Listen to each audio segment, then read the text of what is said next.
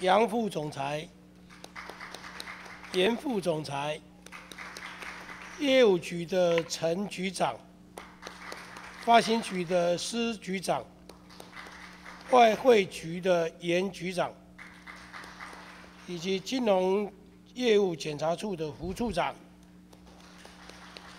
经济研究处的林处长。我们会计处的黄处长、秘书处的梁处长、资讯处的张处长、人事室的洪主任、法务室的吴主任、央行印制厂的陈总经理，以及黄厂长、财经资讯股份有限公司的赵董事长、林总经理。行政院主计总处的检任视察，检检任视察，好，欢迎哦。好，我们请央行总裁彭怀南彭总裁就业务及股利股息红利缴库部分做专呃做专题报告。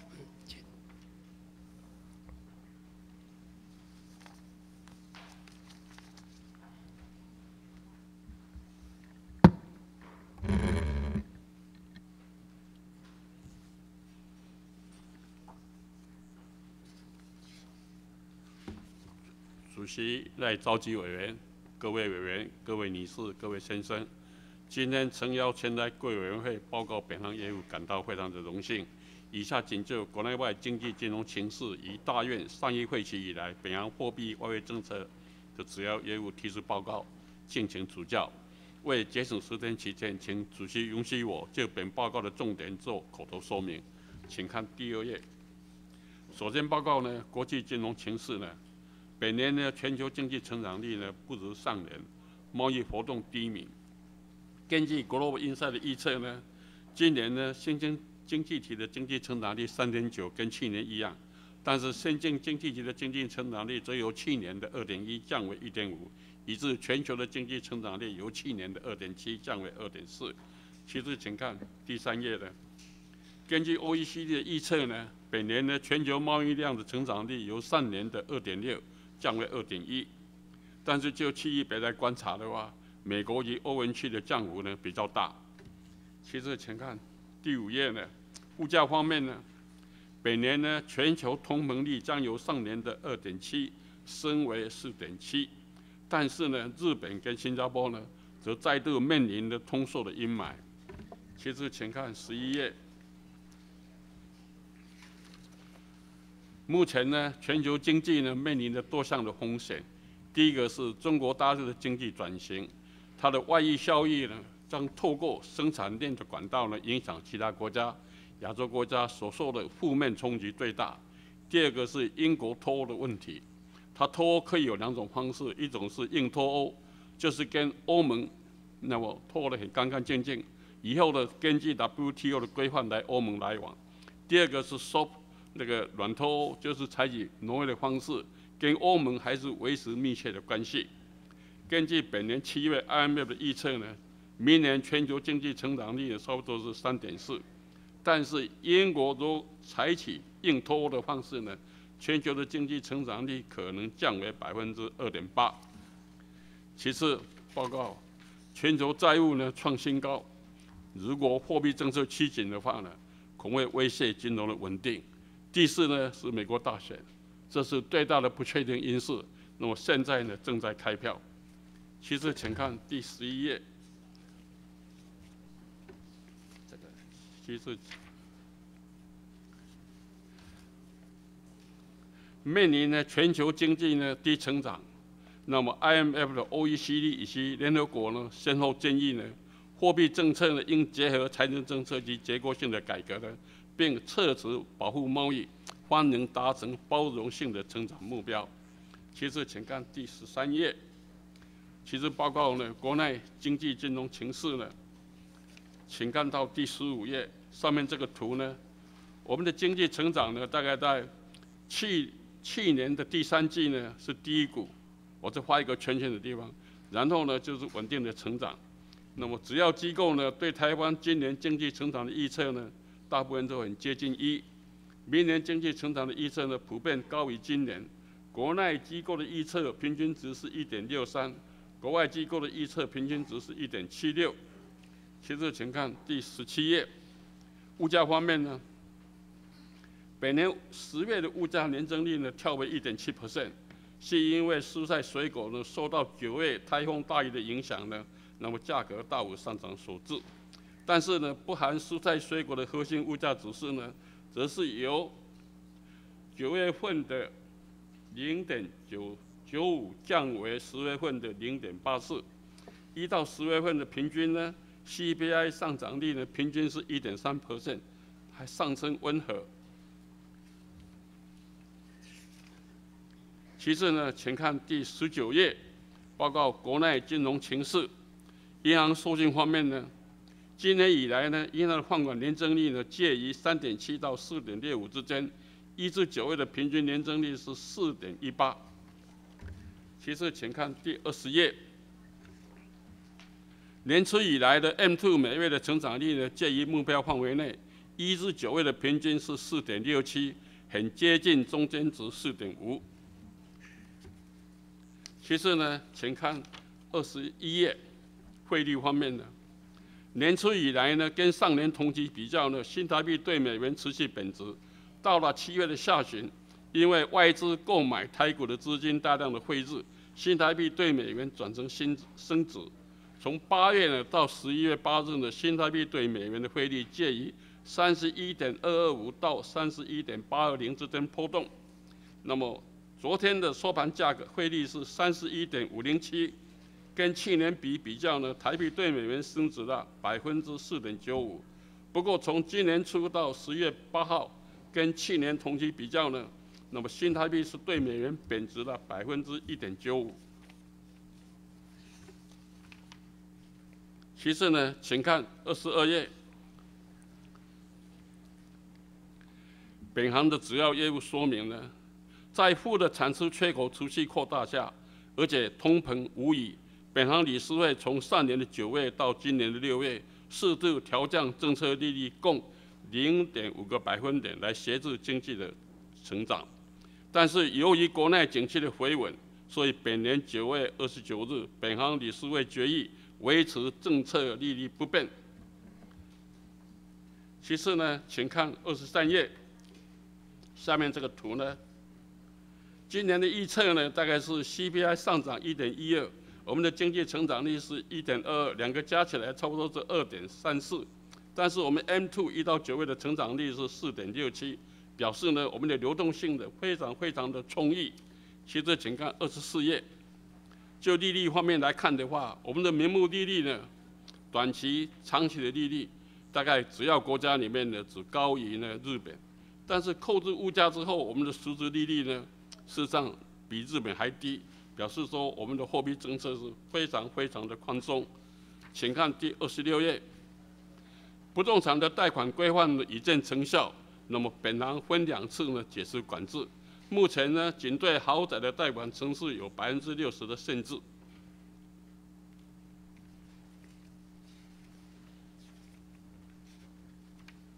其次呢，请看四十三页，本年十月底呢，本行持有的外汇存底是四千三百五十二点六三亿，较上年。底的比较增加九十二点三六亿，主要是外汇存底投资收益。本年十月底呢，本行持有的黄金是一千三百十三点一千三百万十三点六二百万英两，主要作为新台币发行准备之用。其次呢，请看五十三页第二部分呢。一百零六年度中央政府总预算案，行政院税入预算有关中央股息红利缴库部分，本行一百零一百零六年度预算交缴国库关系红利，全市列为行政院税入预算，即新台币一千八百亿六千二百三十二万七千元，较上年度的预算缴库是增加一千三百六十五万四千元。本行系编制附属单位预算之营业基金预算，贵委员会将会另定定期呢专案审查，本行到时候将另做一百零六年度预算的详细报告。请看第二十九页呢。以上仅就国内外经济金融形势与本行主要业务，以及一百零六年度中央政府总预算案、行政院税入预算有关中央银行股息红利缴库部分呢，提出扼要的报告。本行业务呢，促请各位委员先进的鼎力支持，仅借此机会表达衷心感谢之意。今后仍请各位委员随时指教，谢谢。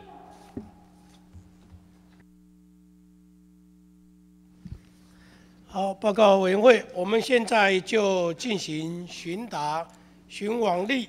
我们做如下的宣告：第一，每位委员八分钟，得延长两分钟；第二，上午十点钟截止登记。如果委员有预算等提案，请在十一点以前送到主席台，以便于议事人员整理。首先，请登记第一位的吴炳瑞吴委员来咨询。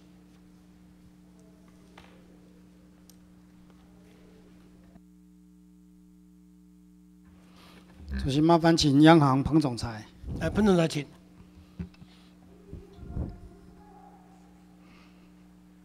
委员好。总裁早哈。问一个当下最夯的问题啊。等一下，应该到中午，美国大选的那个结果就会出现嘛。那当然，媒体还有各界大部分都猜测，认为希拉蕊的赢面比较大了哈。万一？川普当选的话，对整个国际金融以及对台湾的影响是什么？你可不可以跟我们表达一下你的看法？向委员报告呢，因为美国的 GDP 呢占全球的到了百分之二十五，它是一个最大的经济体，而且呢，它是一个几乎是一条航空母舰呢，它会影响到金融市场的动荡。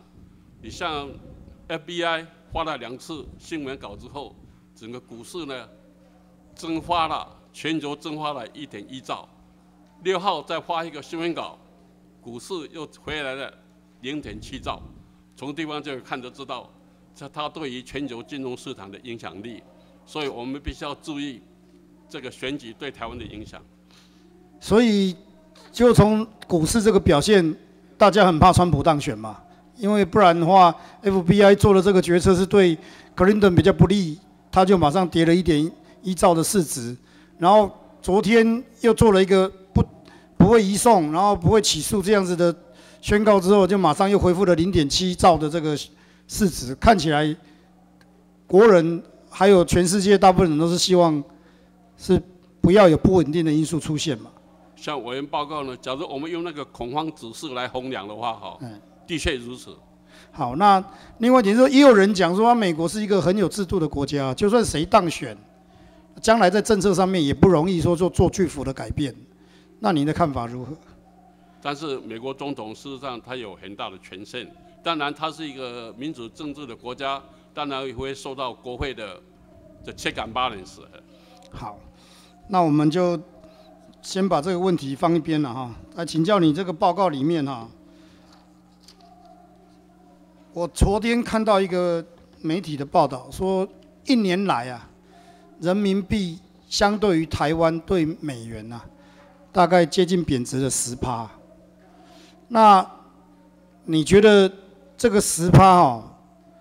坦白讲，就算台湾的的国人如果去存这个人民币的存款呢，就算你的利率再高，给你三趴四趴，这贬值十趴的结果是变成大家的财富啊都缩水。这一点你有什么样的看法？就是给委员报告的话，就老百姓在对于外币存款的投资呢，必须要考虑到两个因素，利差跟汇差的因素。是，但是我记得当初在开放这个人民币存款的时候，那时候一好几年前嘛，大家是基本上一各界啊，包括媒体都一片看涨都认为人民币会升值，就想不到才过几年而已，现在反转的速度这么快。那你这个有没有什么？比较好的建议呢？我就是说，投资人呢，不能够只考虑利差，也要考虑汇差。不过汇率的变动哦，实在是很难预测了。是。好，那所以就你们的了解，这几年、这几年、这一两年来，是不是人民币的这个存款的金额啊，它的变动状况是怎么样？大概跟委员报告了，就是说，看你用什么币别去转成人民币了哈。嗯。你假如用欧元去转的话呢，我算过还是赚了，啊，用美元去转的话呢，大概是可能有一点点亏了。用台币去转的话，也差不多了。好，那最后我还是要跟你请教，像你这个报告里面的第四十三页哈，金融商品多元化是你们现在的政策之一，里面提到一个衍生性金融商品啊，因为本委员会在今年年初也有做决议啊，就是这种类似 TF 这样子的衍生性金融商品这一种的契约啊，要经过财政部。金管会如果涉及外汇的话，要经过中央银行来审核。那我们当初立法的做这个决议的目的，就是说，因为从 T F 这个问题里面看出来，销售的这个契约如果没有事先审查，很可能是在一种没有公平的状况之下所做的一些合约啊。那这个审查是最末端银行要不要卖给客户这一端，可是我觉得有一个很大的问题是。外国的上手银行抛给我们台湾的银行的这个过程中，很可能那个契约就不公平了。这个你有什么看法？我相跟委员报道了，最要就要控制的银行销售的产品给客户这一端。是。那委员的建议是，但金管会跟中央银行已经采取行动了。是。就是复杂性的衍生性商品，就是包括比价提升多过三次，而且隐含的卖出选择性的衍生性商品。这些高风险的产品必须要事先许可，是，我们来保护消费者。对，这是保护消费者这一端呐，哈。那这个大家接受这样的看法，也愿意这样做，我们也是很感谢，因为这是为了台湾的这个终端的消费者的权益，希望他进行的这个契约是合公平的，是合理的，所以要请主管机关事先审查，你们就当做一个把关者的角色。可是我现在问题是在往上推，我以 T F 为例啊。T F 这种商品不是台湾的银行发明的嘛？是外国的比较大的银行，它既制定了这样的游戏规则，又做了这样的契约，然后透过台湾的银行销售给消费者。可是他透过台湾的银行的时候，他给的是当然是佣金了哦。可是问题是，他丢给台湾银行的台湾的银银行的时候，那个契约本身是否公平？我就认为，我就保持着怀疑的态度，因为包括他将来的这个。兑换的时候的那个汇率是预测性的，而由谁来预测，也是由那个发行银行自己来预测，所以他自己本身既是裁判，又是球员呐。所以我的意思说，如果你是法官，最后这一端是保护客户，这个 OK，这我们感到感谢。那要不要考虑进一步要保护台湾的银行呢？还是你认为台湾银行自己应该要有这方面的能力，不需要经过这样的保护？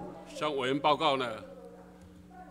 我们已经管制银行卖给客户的产品高风险的不能卖，对不对？是。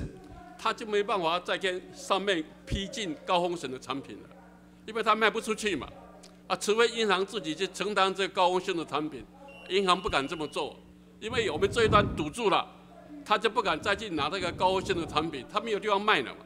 除非银行自己 take position。好，那现在在社会上，事实上 T F 的这些争议啊，发生影响很大，像我们。立法，因为我们财政委有很多的委员都接受到这个买受人的这个陈情，那我们现在也感谢说有创创立了一套制度，大家认为说商务仲裁是一个可行的方式。我的意思说，这个伤害已经造成了，对于这个最后的客户端，当然伤害已经造成了，可是对于银行端，因为仲裁的结果会去分担责任嘛，银行端也受到伤害，可是对于把不公平的契约引进到台湾来销售，这些上手银行，好像我们完全没有拿到办法。我们好像也不当做是是这个这个中间的这个关系跟责任，有没有想想办法要去协助厘清呢？我我的了解呢，主管机关已经采取了四波的加强治理措施，也对于银行违规承销 T R F 做一些适当的处理。有些已经移送法办了。是，我知道这个是对台湾的银行的行政责任，跟他在金融消费者保护法上面的责任，这一点我们肯定了。我现在的意思是说，因为我们台湾的银行哈，你知道大家我们这个都还有存保啊。假设银行的体质后来受到影响，那有这个破产的危机、倒闭的危机，我们国家还有一个存保要来赔的。那我的意思是说，像雷曼兄弟债，美国的金融机构就对于发行这个兄弟债、发行这个债的这个银，一开始始作俑者这个银行给予重罚嘛。那台湾的金融监理，你认为需不需要对于把这不合理的商品利用高的 commission 卖给台湾消费者，除了处罚台湾的这些无良的银行之外，对于更上手设计这不良商品、设计这个没有公平正义商品，然后利用高的佣金让台湾的银行去销售，这样子的上手银行，该不该去做一些责任的追究跟一些监管呢？我我会把委员的宝贵意见呢，跟主管机关来讨论这个问题。好好对，要不然的话，现在银行是这样，他的这个消费端现在对他有一些抗议，大家想办法解决，他也会去承担一些的损失。那这个损失如果他向上没有办法反映，就全部他吸纳了。那从这个责任分配的角度来讲哦，其实这个事情真正的获利者，应该是就是制定游戏规则上面的这一些人呐、这一些所谓的巨鳄、鳄鱼的鳄，他自己自立制度，他自己又在玩这个游戏。那这个哦，如果没有给他适当的这个责任追究的话，那恐怕以后这样的事情还会层出不穷。我我委员的宝贵意见，我会跟主管机关来讨论。好，谢谢你哈，好，谢谢。好，谢谢委员咨询。下一位请曾明忠委员咨询，请。请那个呃，总裁好，曾委员好，是，呃，今年呢、今年的经济成长率，从最新的各机构最新的预测，平均呢、大概是百分之一。那但是主计总处了，预估是一点二二。您看呢、这个今年的预估大概可以达成一点二二吗？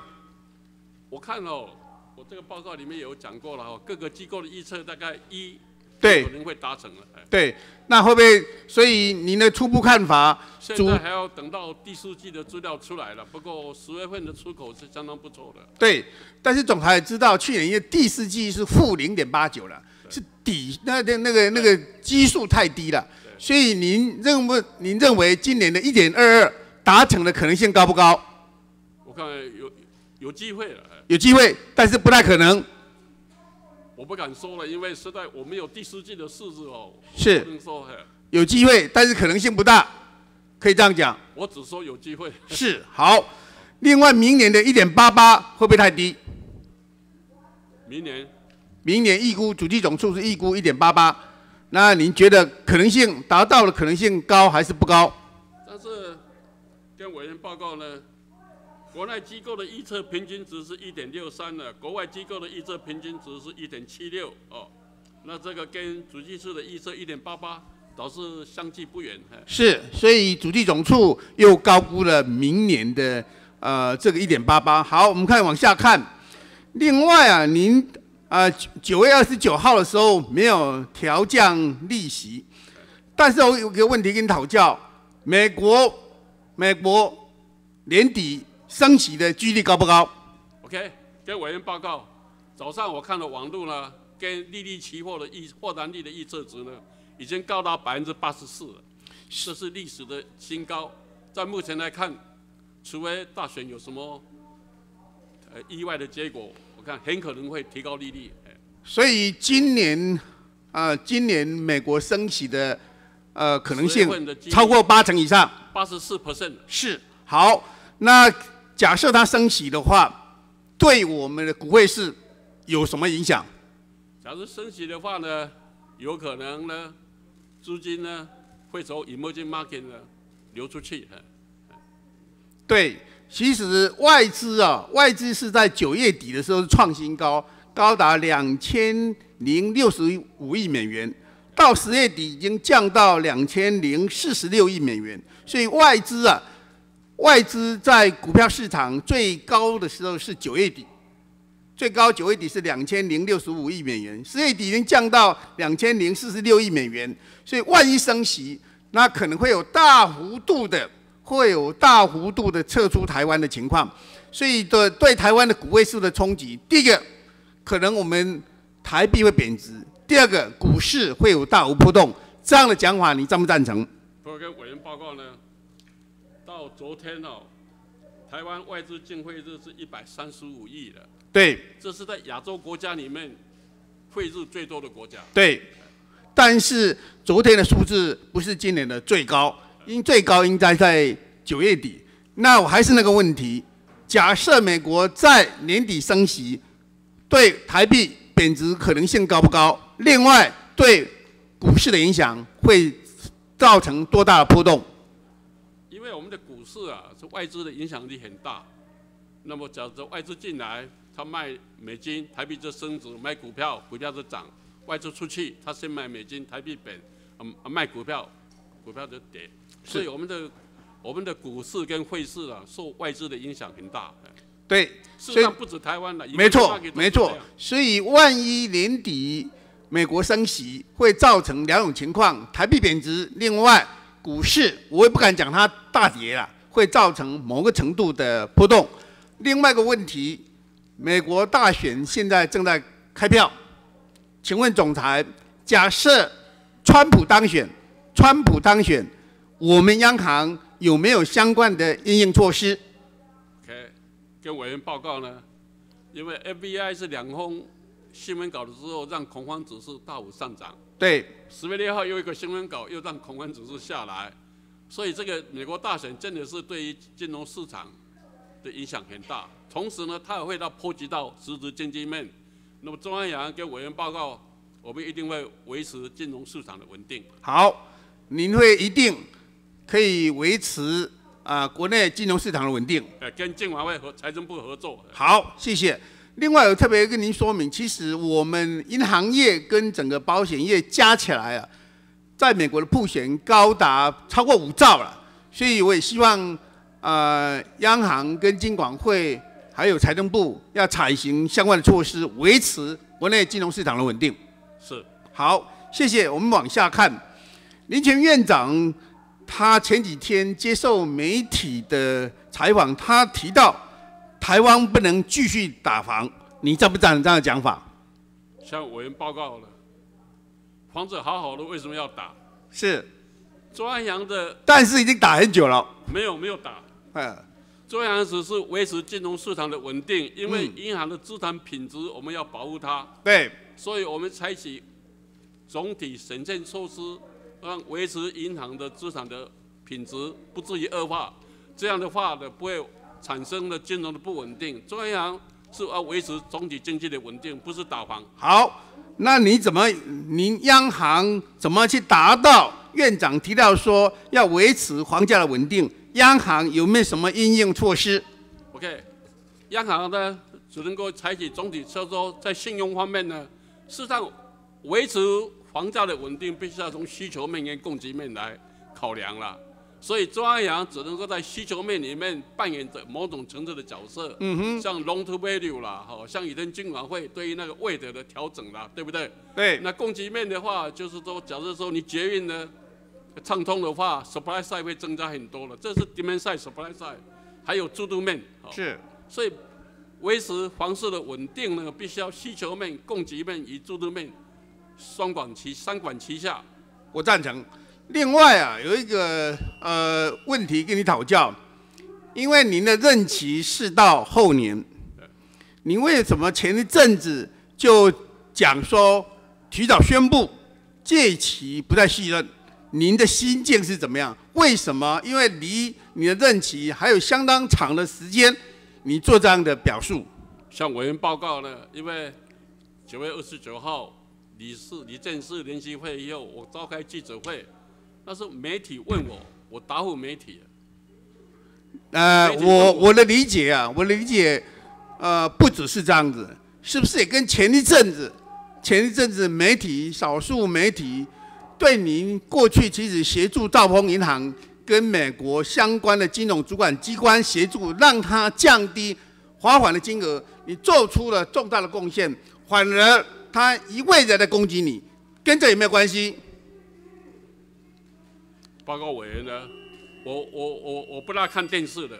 你不要看电视，对，哎你你都没有受影响，不会，真的哎。但是我几乎天天看，而且也替您他对你的攻击，我抱屈，我也感到愤愤不平。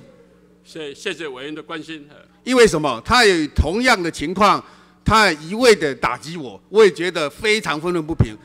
总裁，可能我修养比较不好，你修养比较好。不不不，不是不是，我要跟你学习。哎没有没有。另外啊，你真的是这样子的情况，没有弦外之音。的确如此。哎好，另外再跟你讨教，有关呢股市的部分，同样的院长也提到，股市的部分要去维持一定的稳定。那您的看法怎么样？尤其他认为，现在很多大户，很多大户正所税之后了，都没有回到国内。有关股市的部分，你的看法怎么样？向委员报告呢，为什么股市成交量缩小？这是大家非常注意的问题。是大家看一看全球的股市，今年年初到现在，台湾股市的成交量降低多少？十九十四点九 percent，韩国降低多少？十四点一 percent。是全球股市的成交量正在下降，为什么？因为利率偏低，所以这些资金就去找这些现金股利高的股票，去把它买来，就把它 lock in 锁住了，是所以股票变成证券化，所以全球的股市的成交量都在减少，不止台湾了。没有错，其实股市哦，这个现货市场，现货市场是在萎缩，但是它同样啊，它要长期持有，它还是会到呃衍生性商品，尤其期货市场。所以这段期间，期货市场反而大幅增加，交易量的大幅成长。是，OK，好，谢谢，谢谢总裁。谢谢。好，嗯，谢谢曾委员，总裁请回。接着请黄国昌委员。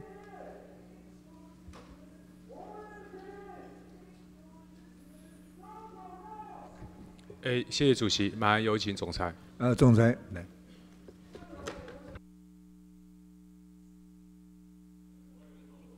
哎，彭总裁您早。时间的关系，我就直接切入正题哈。就我们上一次第一次我在财委会请教彭总裁啊，是关于有关于我们央行理监事会议啊那个会议的过程跟会议记录能不能的问题。那我相信，呃，《金周刊》呐前一阵子的报道，总裁应该是有看到了，因为我事后。央行发了三十几页的新闻稿予以驳，逐点反驳他们的内容，我也大概都拜读了。但是我现在在请教总裁了，是说，针对央行未来进一步的公开透明化，总裁跟其他理监事啊，大家的看法是，现在这样的做法是已经刚刚好了，还有还是有进一步检讨开放的空间？当然，中央央要不断的去检讨有没有改善的地方，我不能够自满。但是跟委员报告呢，事实上我们的中央洋比美国更早在理事会以后召开记者会，美国会的以前没有召开记者会，我们比他早。我想您召开记者会跟发布新闻稿，大家都很肯定了。现在还有呃其他的透明开放的问题嘛？包括理监事的会议记录，那那包括了你们在开会的时候，大家发言的内容，然后针对不同的政策，针对特定的政策不同的看法，那这个部分央行有没有打算要进一步开放，让大家知道？我们来研究好不好？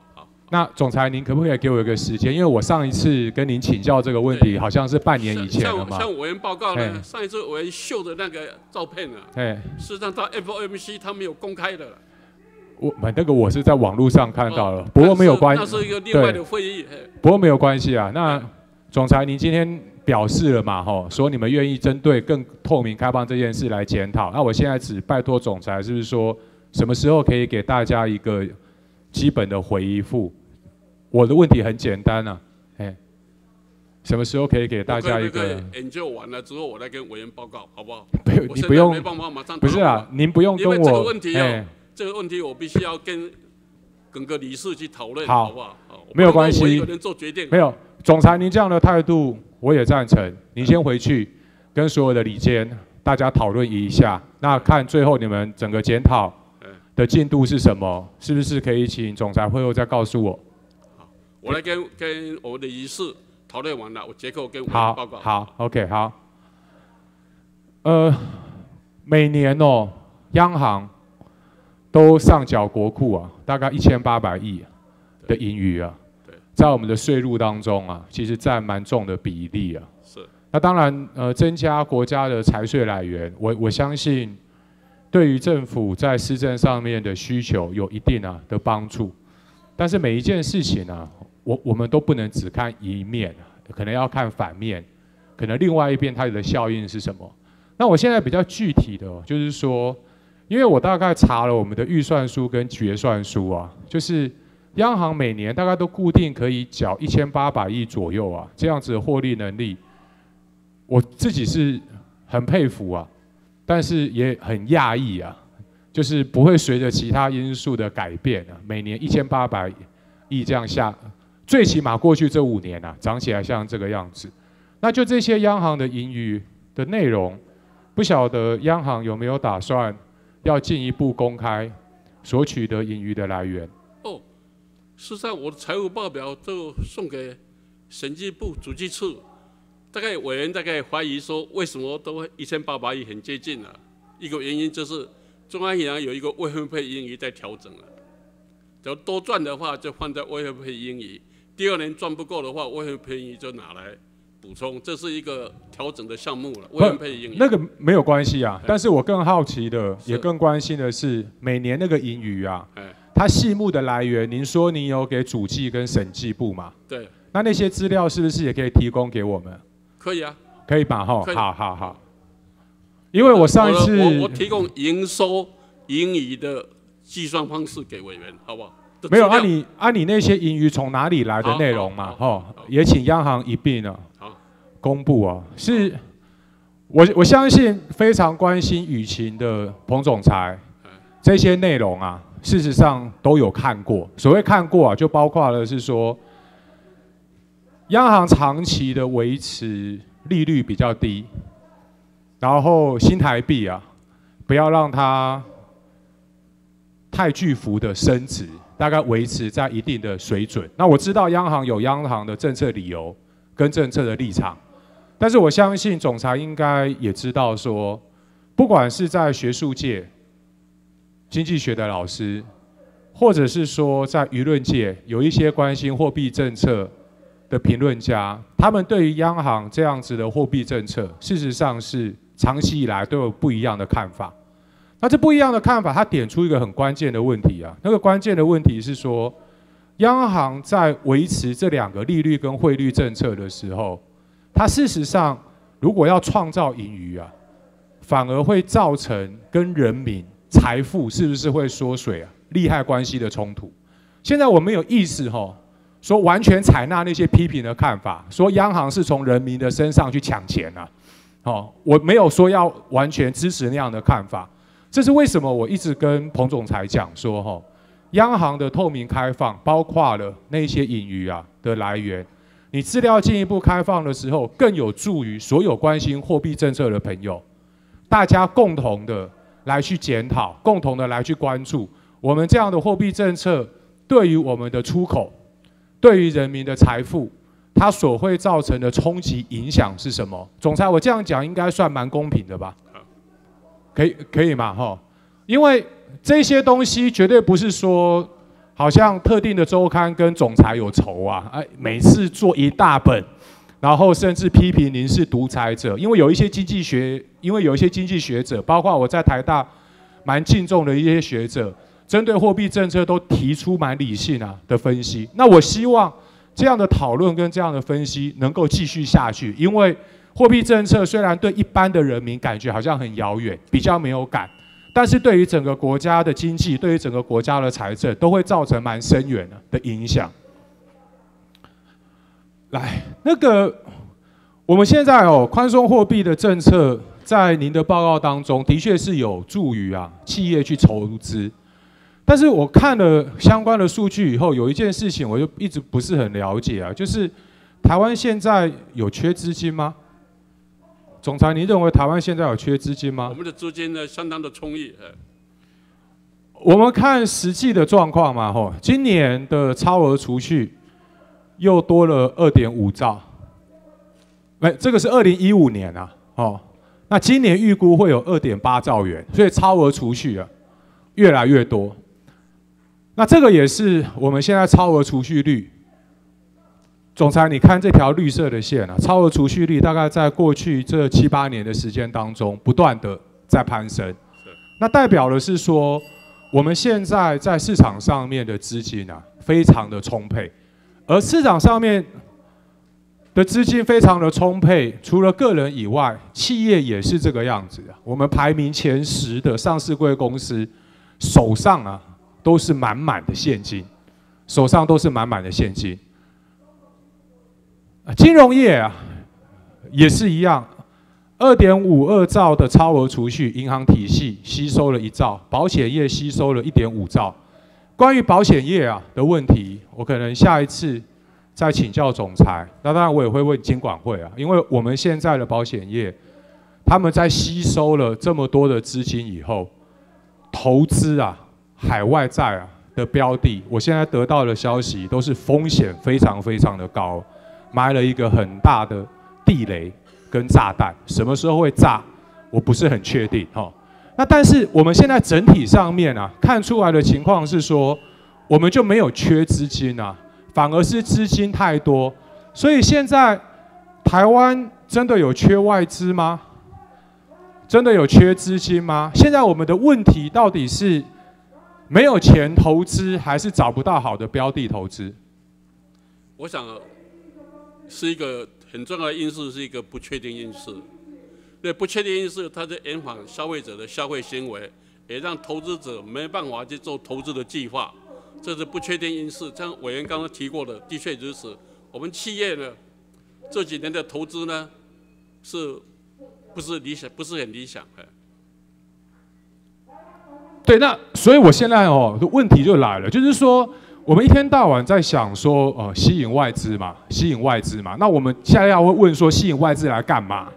就是说，如果吸引外资的问题是要投资的话，那显然我们刚刚的数据呈现出来的是说，我们现在缺的不是钱嘛，是好的投资标的这样的问题嘛。那在这样的情况之下，央行继续的去维持货币宽松啊的政策，那是要有助于企业去筹资。这两者之间的因果关系啊总裁可不可以再说明一下我们吸引外资希望有好的 FDI 进到台湾来了。哎不是对啊，所以我我的问题还是一样嘛，就是说刚刚我们已经建立了说台湾的市场事实上是不缺资金的啦，对，问题是资金要往哪边去嘛？我们希望有好的 FDI 到台湾来。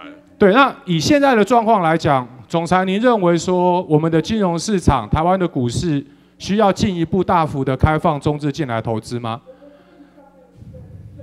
我想、因为有很多人在讨论这个问题的时候啊，说要救台湾的股市嘛，吼，那救台湾的证券业，其中一个 solution 啊，吼，是进一步加大对于中资的开放。那对于这样子的建议啊，总裁您从您的专业来讲，认为说有必要吗？还是有帮助吗？我想大概主管机关是希望活络我们的资本市场了。啊，这个我同意嘛，啊，那活络我们的资本市场要找到正确的解方嘛，才有办法对症下药嘛。但是我现在就一直在想说，这个解方是进一步的开放中资，我们的问题是缺资金吗？如果说啦，哈，今天的问题是在于没有好的投资标的也好，刚刚总裁所讲的不确定性高的因素也也也好，那你如果是从这个方向去着力的话，对于问题的解决会有帮助吗？呃，现在我是很诚恳的在请教总裁您的专业意见，因为这些事情我们在进行分析的时候，有没有进行理性的分析，最后采取的政策会不会达到效果，这些事情都息息相关。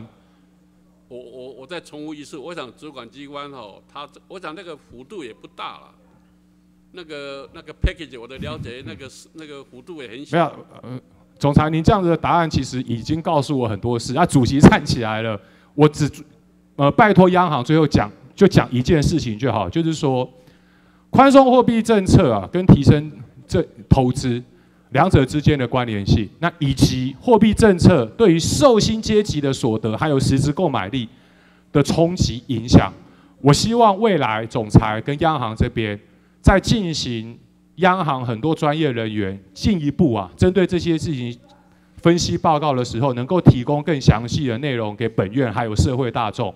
那作为我们整个货币政策、汇率利率未来检讨的基础，这样好不好？好，谢谢。好，谢谢总裁。好，感谢，谢谢呃黄委员，总裁请回。接着请赖世宝委员。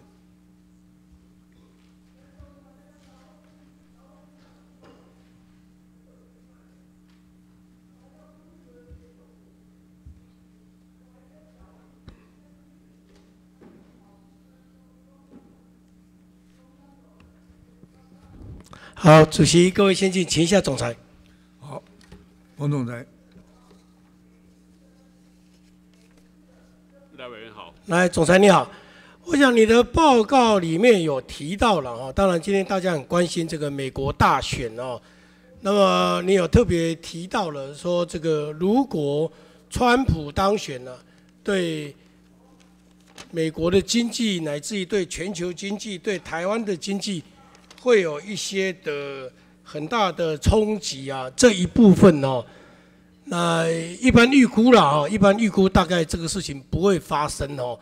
我请教你，就是说，万一真的这个几率虽然不高，但是万一真的发生，呃，你既然都点出问题了嘛，我想你给我们报告里面写得很清楚啊。川普如果川普如果当选，贸易保护主义抬抬头，移民政策等，然后拖垮美国经济，导致财政恶化，影响区域的政治安定等等。就这部分你写出点出一个问题，但是请问你。你有没有准备一些的剧本？说如果真的要川普当选的话，我们台湾怎么办？我们有没有应应的策的一个做法？向大委员报告呢？我这个十一页的补充资料里面下面有一些 footnote 哈，这个是我引用国外的研究机构写的报告，不是我自己写出来的。第一个我做这个声明，啊，第二个呢，我们也讲过了。美国的经济呢，已经占全世界的 GDP 的差不多百分之差不多四二十五 percent，它的确会影响到全世界，所以中央银行会跟金管会、财政部哦，怎么样来维持我们的金融经济的稳定？你是以不变应万变，还是说因为我们有很多的外汇存底，所以再怎么变动我们可以应应？还是有没有什么其他的做法？报告我们有足够的流动性。来维持金融市场的稳定，所以基本上不管谁当选都问题不大。我们会会尽最大努力来维持金融市场的稳定。嗯，所以所以你们没有什么特别准备的，没有特别紧张，有没有特别紧张？啊？你有没有特别紧张？那么跟委员报告呢？全世界的恐慌指数是大幅的波动哦。所以你也会恐慌？哎，那么你也会恐慌吗？嗯，我会关心。你不会恐慌，但是会关心。我会关心的。啊，稍微紧张一点。我会关心的。好，那个，我想不管谁当选了，川普也好啦，川普也好，或者川，就或者是希拉里也好，基本上都不要 TPP 啦，对吧？他会走向保护贸易主义。对对嘛，这基本上多少，因为已经两两方阵营对阵底下，慢慢的那个自由贸易的味道会少一点了。保护主义都会上来一点嘛？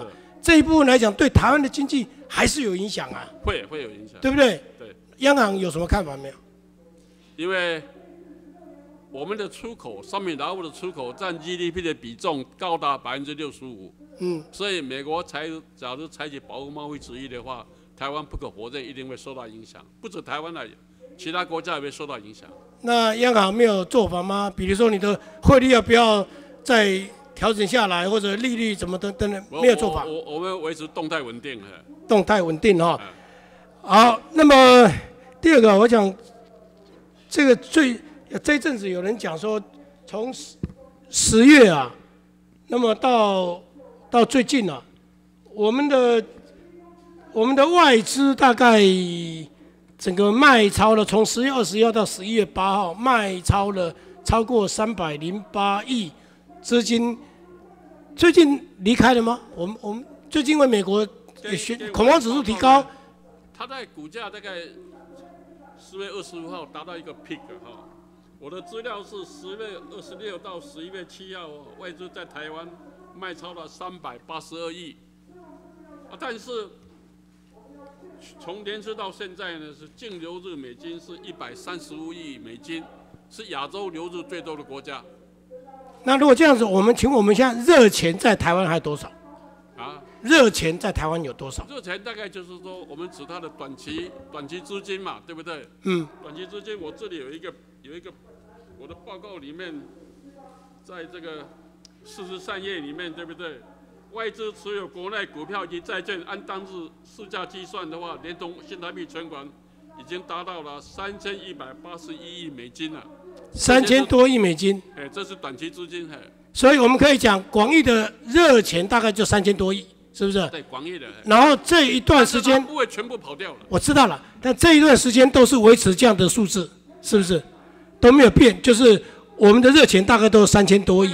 呃，换一句话说，所谓的三千多亿热钱的意思是，他跑随时可以跑哦。但是今年对不对以来，今年以来的流入亚洲的国家里面，流入台湾最多。哎它出去最少。哎，这流入刚刚我报告过了，一百三十五亿美金呢，流入台湾最多。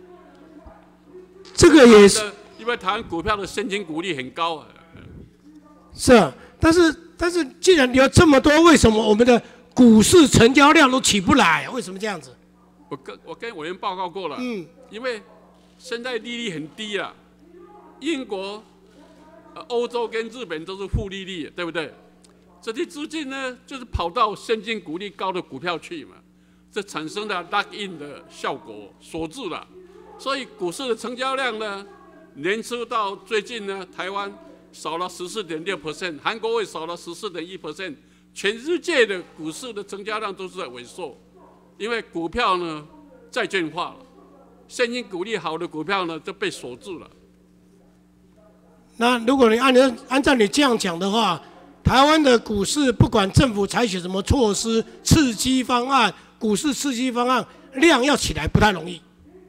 按照你这样讲，当然啦，当然你采取措施会产生一些效果啦，但效果不大，效果不会明显。来看的话，就是因为被锁住了，lock in 了。哎所以目前的量是正常的我请教你，目前的量大概就正常，就这个样子，是不是？刚才郑委员也讲过了，是在我们现集中市场交易量少，但是我们的期货期货交易量很大，可是那个抗得起来还是不多啊。期货交易量很大。哎哦，好，所以所以你就是说，现在股市的量是正常的，不用太，而且刺激也没什么用。全世界都是在在在说呃做减少。哎有一份民调指出来了哈，我们政府最近地价税提高了，房屋税提高了，这个其实老百姓八成的老百姓八成二认为是加税跟打房啊，不是为了只为了居住正义哦，而且更有百分之五十六的购物者因此放慢或者是放弃购物哈、这一部分来讲的话，你要不要对对对这个要表达一点看法？因为这个我是不是委员让我允许这中央的业务表示意见，好不好？有啊，因为你你这个管制源头管制，你资金管制啊，你你这个你这个信用紧缩，当然这个钱就少了啊、你如果放宽钱就多了那，个我那个管制已经解除了，除了豪宅以外，其他都解除了。所以通通没有。对啊，所以现在如果有什么有什么状况，跟你没有关系。现在只有这豪宅有贷款的城市的限制六成，其他都没有了。哎你也不会做进一步把它再放松来刺激一下因。为因为目前房价已经趋稳了，所以重要的措施已经解除了，除了豪宅以外。哎好，那个刚刚提到，我们既然既然外资这么喜欢来台湾留下来，因为这里的这个 ER rate 很高等等的哦，外汇存底哦，现在的怎么样？我们增加多少外汇存底？外存底增加的不多啊，我这里报告，大概四千多亿嘛哈、对对，全世界排第几啊？大概第五。哎第五哈、那里面的 portfolio 是怎么样？大概就是美金最多嘛嗯，对不对？美金以前都超过七成，差不多。再过来只要是美金啊、欧元、欧元、日币、人民币没有有没有一点人民？币也有，呃人民币前这一阵子贬了那么多，不多，嘿但是所谓的不多有没有？有没有五 percent？那就看委员讲了，就是说，看你用什么币去转人民币了。你只要用欧元去转人民币的话，还是赚的。我们有吗？用欧元去转我请问我们有做这个事吗？我是跟委员讲说，用欧元去转人民币是赚的。你已经做了这个事情，就对，赚了一些了。嗯，是我我只是做分析给委员报告。你这句话很暧昧哦报告嘿啊，不，这这句话你要跟你你既然讲了，要跟我们讲清楚啊，这个啊。我我是做几个 scenario 分析给我。好，因为我看到了最近的一些报道是说，长期来看的话，美元跟人民币是看涨的，所以现在我就请问你，你的做法，央行做法 portfolio 有没有把人民币开始现在低谷的时候，现在不好嘛哈，币值低，这个最近有没有加码？这样，请问你这个汇率的预测呢是非常难的，所以我也不敢预测了。哎，汇率预测非常难的事情。好，最后一个小问题，也是大家普遍关心的，你这一任做完，确定就离开了吗？是啊？是不会任何理由再被留下来是啊！是，长官如果希望请你留下来，毫不犹豫、毫不考虑、毫不念卷就离开。我跟委员报告呢，我一百零三年三月十号在这里讲过的一句话，我是最后一项公职，我到现在一直都记着，请委员相信我讲过的话。不，公职你这个位置还是可以继续做啊，这个没有年龄限制啊。我那一句话一直 keep promise，所以我九月二十九号讲的话，我也会 keep promise。啊，你身体这么好就就就退了，对身体这么好就退了，那不是国家损失？啊，国家损失好，好，谢谢，人才很多，哎好，谢谢。谢谢。好，谢谢赖委员，总裁请回。接着请于婉如委员。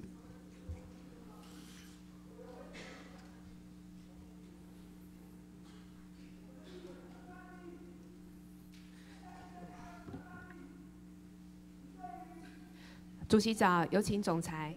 总裁，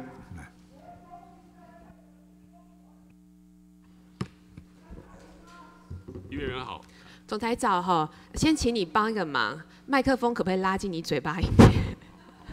因为我刚刚在电视前面哈，我都听不到你的回应啊，哦，可能只有现场才听得到，可是，在电视前我是听不到的哈，所以还是靠近麦克风一些。好，麻烦您。好，我这边有几件事情哈，想要跟总裁讨教。好，我们看一下这个二零一五年全球电子支付的使用增长率是百分之三十七点八 percent。哦，高达六千两百亿美元。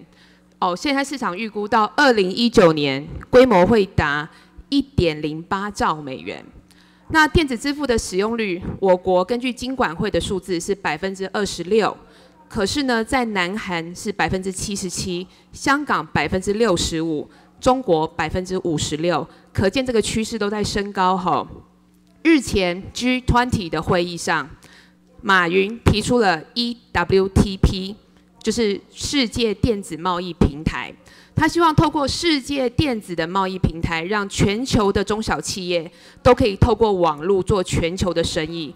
可是这样子的一个架构是在是奠基于电子支付的这个基础上面。所以我看了一下你们的这个呃报告里面提到哈，今年度台币发行额十月底为一兆八千六百五十亿元台币。那一百零六年，你们编了大约四十六亿三千七百一十六万元来印制钞票跟铸币。可是，在这个三四十六亿三千七百一十六亿元之内，哦，不知道有没有包含你们的废币回收成本？有没有包含你们的毁损国币的成本？有没有包含你们的伪币稽查成本？有没有包含你们的储存、点算，或者是甚至环保上面的这些隐藏成本？哈，所以我想要问彭总裁的是说，想讨教的地方是说，在全球电子支付的这种趋势之下，连 G20 都已经允诺要推 EWTP 哈，那央行现在有没有在关注这件事情？有没有在引领的方法？这个东西哦，必须要顺其自然的发展。事实上，那个财经咨询公司刚刚成立了区块链的研发应用委员会，曾经邀集了四十五家银行，在原地建构区块链的共用平台。所以中央银行对于这个电子化或者是数位化，中央银行是乐观其成。乐观其成嘛，哈。那我想要问总裁的地方是说，哈，好，这个电子支付的使用率，事实上要能够提高，跟你们没有比较没有直接关系啦，因为那个是货币的推广工作嘛，哈。但是货币的发行工作跟央行还是非常有关，哈。所以我想问说，在这个货币的发行上面，央行有没有打算要做什么，或是可以做点什么，来去因应这个呃无纸化货币或是电子货币的这些呃快速的趋势？像议员报告呢，货币是在满足市场对货钞票的需求，哦，通过发行是在满足钞票的需求。我们发行了以后。老百姓假如说不需要钞票的话，钞票就是回笼，所以货币完完全实实是是 demand 发行的。中央银行不可能说我硬要推钞票，不可能。你硬推钞票，他不要的话还是回流。所以货币的发行是由需求面来决定。所以总裁的意思是说，因为现在政府没有电子货币或是这个呃无纸化货币的政策，所以为了满足市场的需求，央行还是继续发笔发行实体货币，是这个意思吗？是，但是呢，我们的 Apple Pay 成立之后呢，可能就会减少现金的使用。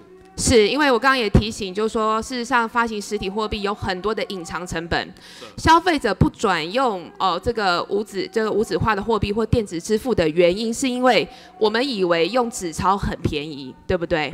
可是事实上，这个纸钞的成本都是全民的税金在在这个买单嘛，吼，所以也希望能够考量这个成本问题来去思考这个议题。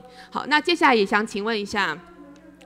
就说今天早上看了一下这个报纸哈，总裁也说，如果川普当选，好会冲击美国经济，好，那不知道就说会拖累美国经济哈，那不知道就说这个央行哈，就是有就总裁有没有评估，如果川普当选，对台湾的金融市场的冲击是什么？那央行有没有准备应应的方法？那应应的办法是什么？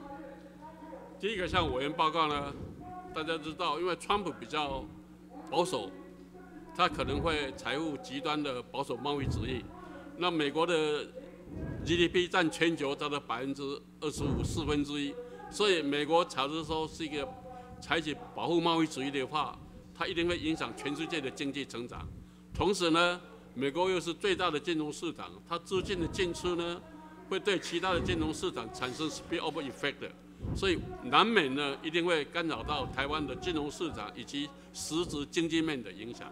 是，那央行这边的因应之道是什么？中央银行会跟金管会、财政部的共同努力呢，维持金融市场的稳定。哦，是我们知道你一直都在维持金融的市场稳定。那针对如果川普当选，我们台湾的具体因应之道是什么？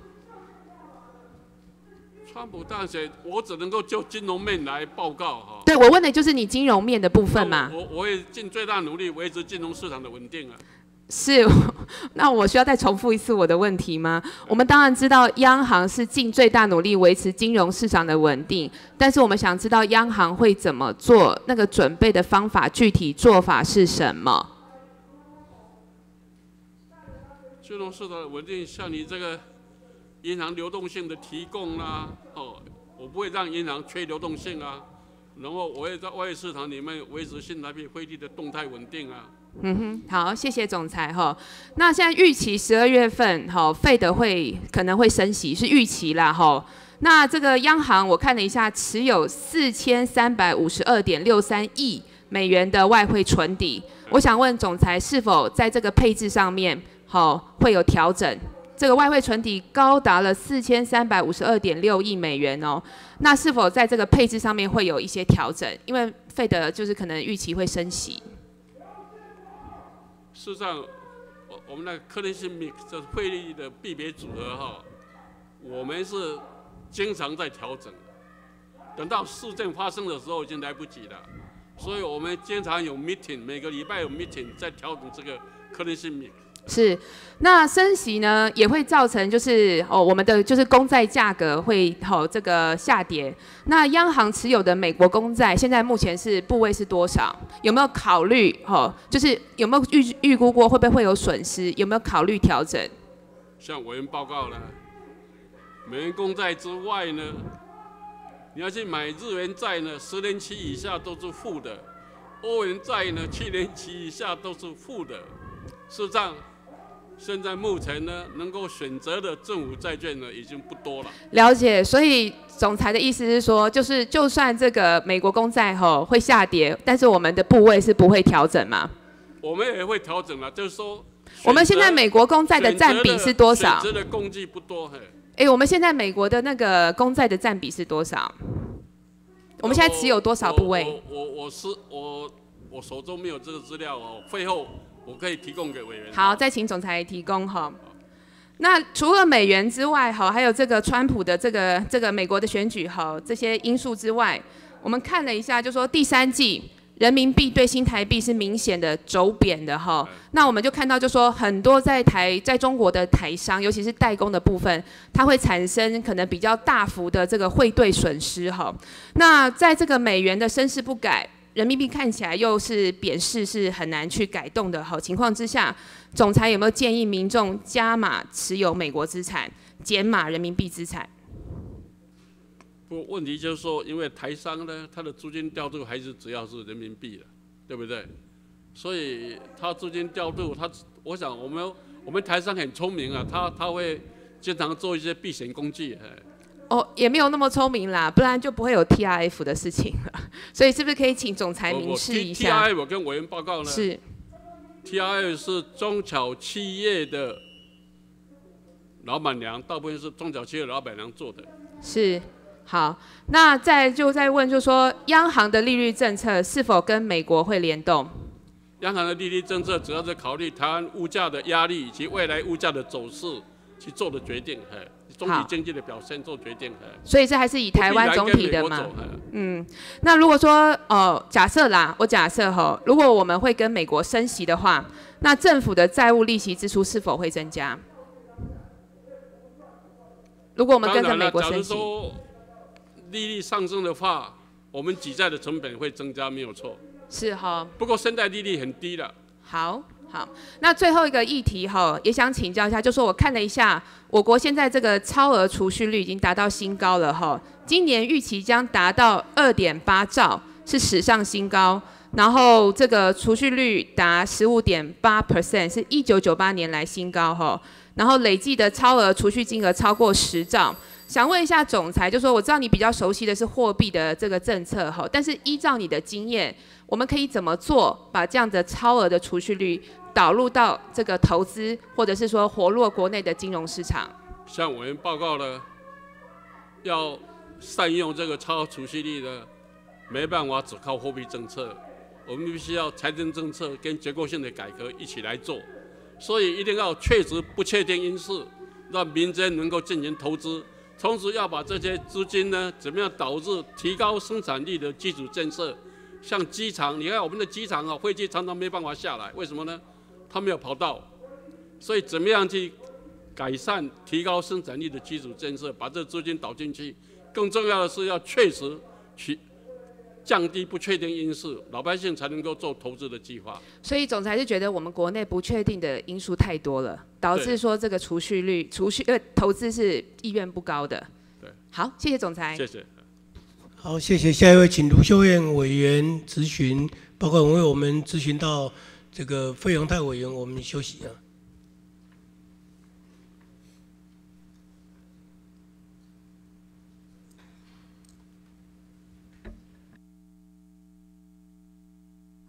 主席，请总裁。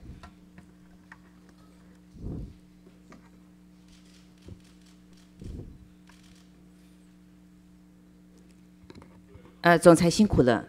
总裁，现在全球经济形势大为紧张，因为到目前为止，川普领先，所以现在很多国家的股市大跌，包括台湾的股市，现在跌了一百五六十点。创下今年以来可能是记录，现在大跌啊！所以，所以我想请教总裁，因为你是呃台湾人民很重要、信心安定的一个指标，你一言以兴邦，所以大家想问的是，想问的是，呃，我们的中央银行、我们的政府准备好了吗？如果川普当选，目前看起来他很可能当选，那么我们国家的准备到底怎么样？Are you ready？准备好了吗？向卢员报告，中央会竭尽全力跟军管会跟财政部来维持金融市场的稳定。那如果因为股市大跌啊，川普如果当选呢，现在已经在跌了。未来这几天当中，我们的股市可能也都会继续在跌，或甚至会有很严重的影响。那不晓得在股市方面，央行可以做怎么样的协助？股市方面呢，因为中央不是主管机关的话呢，我想主管机关他会采取一些必要的措施。我们会，我们会，譬如说，呃，很多的银行。它跟中呃中央银行有密切的合作关系，那您会请这些呃公股行库啦，或是呃各级银行，他们闲置的资金稍微做点准备，那投入股市，协助股市安定吗？你会约他们喝咖啡吗？跟委员报告呢，这个不是我中央能够做的事情。对，那你可以做。那你说，你说你们已经 ready 了，那你们到底做些什么事情？你在股市方面可以做怎么样的协助呢？主管机关去处理这个东西，股市的事情，中央不是主管机关呢，我不能采取这个动作。但是我会维持银行的流动性足够，会维持外汇市场的动态稳定。啊，银行的流动性够，就不会就说即使有人呃这个。要提款啦，挤兑啦，所以保证银行的资金是绝对没问题的。是，我们资金是充裕的。对。所以啊，即使大家要提款啊，要这个转钱也都没有什么问题，或者热钱流出也都没有没有什么问题。这这方面都没问题哈。是。啊，另外呢，在汇率，因为利息的话，可能是要到你们十二月才能再做一个决定嘛，哈，李监事会。但是汇率马上可能会呃发生重大的变化跟变动嘛。是。那这方面。你是会根据国际的情势来做调整，还是会维持它一个尽量的稳定？希望不要上下波动太大，在汇率方面。因因为跟委员报告呢，因为汇率是采取动态稳定啊，所以你不能够也要看国际上国际盘很多事情，因为那个 demand supply 呢一定会受到国际盘的影响。那中央银行的能够可能的就是说让它幅度不要波动太大。所以波动一定会有，大家听清楚了，就是说波动一定会有。那只是说波动不要像云霄飞车这么上上下下那么大。对。但是大家要心理准备啊，我们长期以来维持汇率很稳定的一个状态。如果川普当选的话，可能难免一定会有波动，像过去那么稳定的情形，可能已经没有了。也就是说，就是说，相对于中央银行。就是说，放任的情况之下的大幅波动，那么中央银行会把这个波动幅度把它缩小。哎，是好，那所以我想大家在汇率上也要有一点心理准备哈。那当然啊，你自己是以勤奋为出名了，礼拜六、礼拜天你过年都不放假。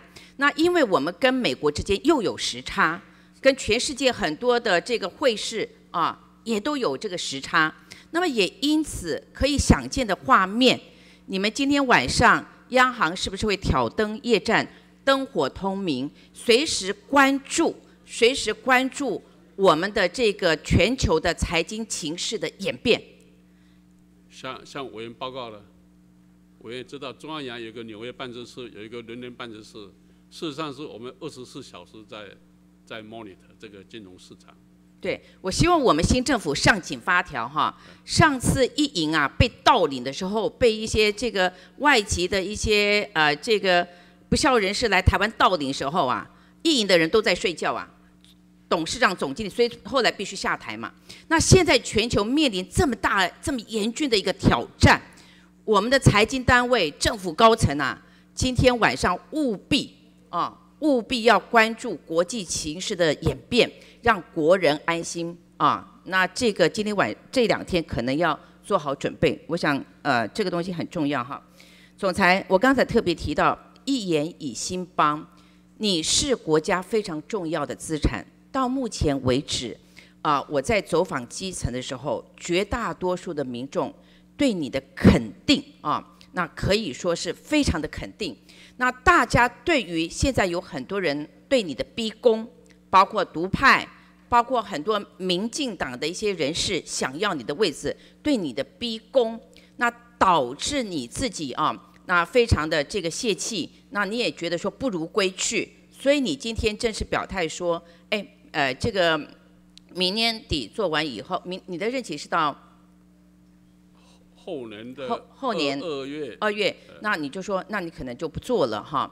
那可是呢，有很多的民众要我在这个地方讲话，他们希望说，蔡政府能够留用你，因为哪一个总裁一年能替国家赚一千八百亿？我们国家一年的总预算的十分之一是央行一个单位来负责赚的，有谁能够这样子做？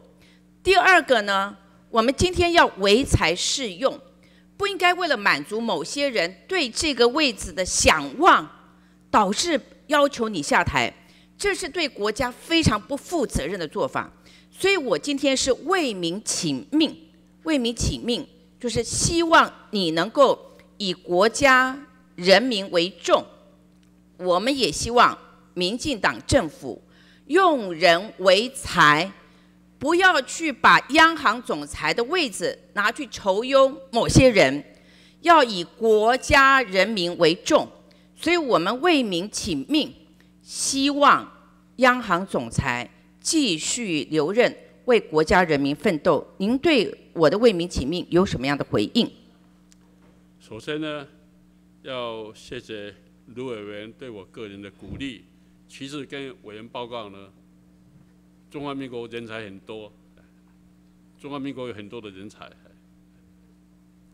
你这段，你这段时间是不是觉得很灰心、很泄气，而兴起不如归去的念头？不会不会不会，我每天都是全力以赴，不会，我不是会受到影响。嘿是我我我觉得是这个这样的一个情势哈，我觉得非常不乐见，而且是让人家的确会觉得很灰心。另外，我想请教哈，林权院长提到说这段时间不打房不加税，可是呢，呃，我们知道呃这段时间地价税对于房市有很大的冲击。你刚才有特别提到，现在房市已经趋稳了，趋稳了。可是昨天有一份民调显示，百分之五十六的民众认为这段时间的地价税根本就是加税打房，所以不止你泄气啊，现在百分之五五成六的民众啊也开始灰心泄气，他们说他们也不想买房了。那也因此呢，我想请教这个总裁替小市民来问：现在是买房的好时机吗？房市还要再下跌吗？那这个问题跟每个民众息息相关。我们台湾的房市会不会崩盘？这几个问题请教你。跟委员报告呢，我们台湾房市呢很幸运的就是说没有让它泡沫化，而且呢房市的回稳呢，它是一个收点点，不是哈不是硬着地，所以我觉得台湾的房市的发展是没有泡沫化，然后回稳的时候是慢慢慢慢的回稳，这这都软软软所以不会再下跌了。软着地了哈。那么会不会下跌？事实上哦，这是由 demand supply 来决定。那我的了解，大概目前房市呢，投资客大概是比较少了，投资客比较少。可是真正需求五成六的民众也不想买房了是不是把房市已经打死了这句话就打死了。不但打房，而且打死了。现在有这个现象吗？我想大概投资客应该是比较少，比较少的时候，应该有助于房市的健全发展。有助于房市健全，哎，蛮重要的暗示哈。那另外，我也替小市民问哈，啊、因为最近有很多的投资在专家在讲，不管谁当选美国总统，买黄金就对了，尤其川普当选更要买黄金。所以我今天替小市民问，一个是买房子的问题，一个是买黄金的问题。那您是这个国家重要的这个财经的这个啊支柱啊，我想请问一下，这段时间。是不是诚如这些投资专家所讲的，要买黄金？跟委员报告呢，除非你有很多的储蓄了，要不然的话，你去买黄金的话，黄金价格波动很大哦。这个也是不见得一定会赚钱了，哈，所以除非你有很多的钱，好，最好是稳健一点，可能比较好。哎，这句话也是很重要的开示，啊，就是说，哎，这个是汇丰发布的哈，汇丰还不是小银行，是全球的大银行啊，说不管谁当选总统，买黄金就对了。可是央行总裁今天告诉我们说，还是买黄金有很大的风险，有很大的风险，那也一定会有很大的波动，所以这段时间还是要谨慎。这是您的答复吗？我是觉得要还是要谨慎的。好，谢谢您正面答复，谢谢。好，谢谢卢委员咨询，下一位请王龙章委员咨询，请。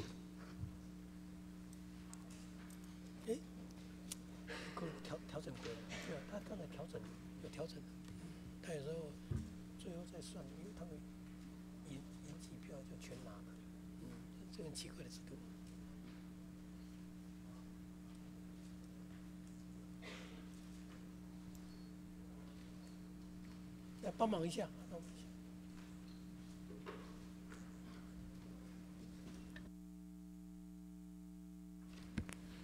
好，呃，谢谢主席，主席麻烦我请彭总裁。来，总裁请。总裁早。王员好。哎，总裁好。台湾我们近几年来，我们无论在物价跟汇率的这个部分的的话，都是非常的稳定。那我想这个部分的的话，呃，总裁也因此在国际上获得很好的名声了。好，那在您的报告里面的话，我看到我们在今年 CPI 的年增率大概介于一点零到一点二之间嘛。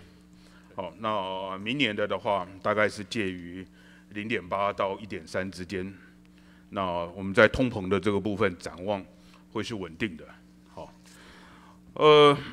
我想这样子的情况，事实上，呃，台湾的就是说情况跟日本，嗯来讲的的话是相近，日本跟的状况也是如此。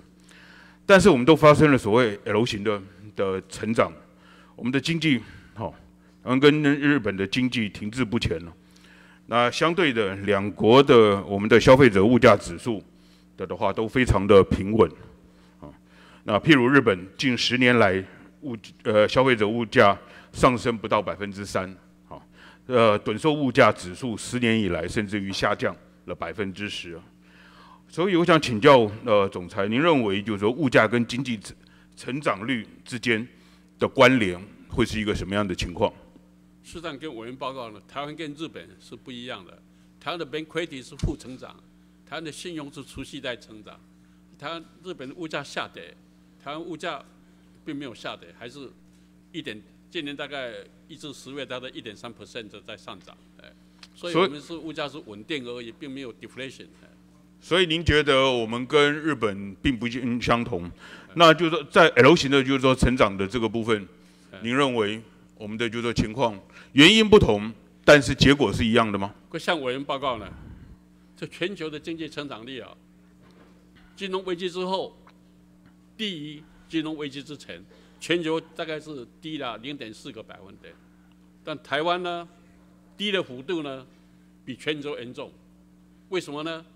因为台湾的出口占 GDP 的比重，商品劳务的出口达到百分之六十五 percent。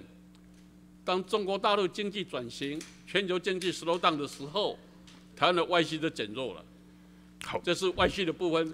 内需的部分呢，早年呢。企家庭的储蓄经过银行资本市场借给企业去投资，这几年呢，企业的储蓄还本身的储蓄大于它的投资，企业一大堆现金。所以您觉得台湾的问题超额储蓄出了问题是这样子的，就是说的状况。所以要确实不确定因素。好，我想进一步的请教总裁啊，有些人认为我们就是说物价的这个部分的话，如果下跌，好，那在这个部分的话，老板。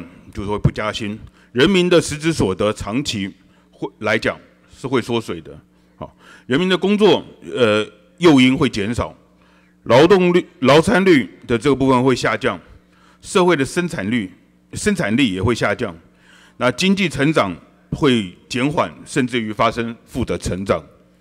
那另外更进一步的的话，进口会减少，人民的生产力的降低，出口它相关的因素，出口也会跟着减少。那物价如果就是说跌的话，然后大众就不会急着买，厂商他就会因此而不得不降价，啊，那甚至于最差的情况里面会倒闭。这也是我们就是说，在台湾我们的短收物价一直在下跌的原因呢。那这里面也造成我们无薪假跟裁员的主要原因之一啊。我想在一个样子的一个我几根就是说生的状况，请教就是说主呃总裁您的看法怎么样？事实上呢，台湾物价的相对稳定，今年大概一至十月是一点三了啊。台湾物价的相对稳定呢，有助于老百姓的实质购买力啊，对不对？实质工资物价稳定，实质工资才会维持实质工资的购买力。所以总裁认为，就是我们的呃适度的，就是说通膨是没有需要的。我们继续维持这样子的一个物价状况，通膨是不错的。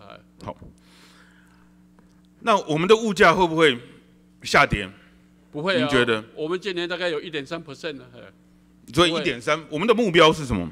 就是说，请问总裁，您有没有设定我们的适度通膨的目标的打算？在 two two percent 以下，零跟 two percent 之间的。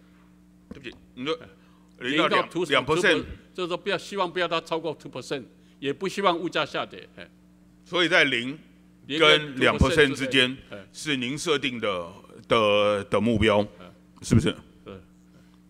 那您觉得这样子？一般来讲，我们竞争目标都是以不。所以您觉得这样子的情况里面，是最适合台湾目前的现况跟需要的？因为我们物价相对稳定呢，可以保护消费者的购买力啊。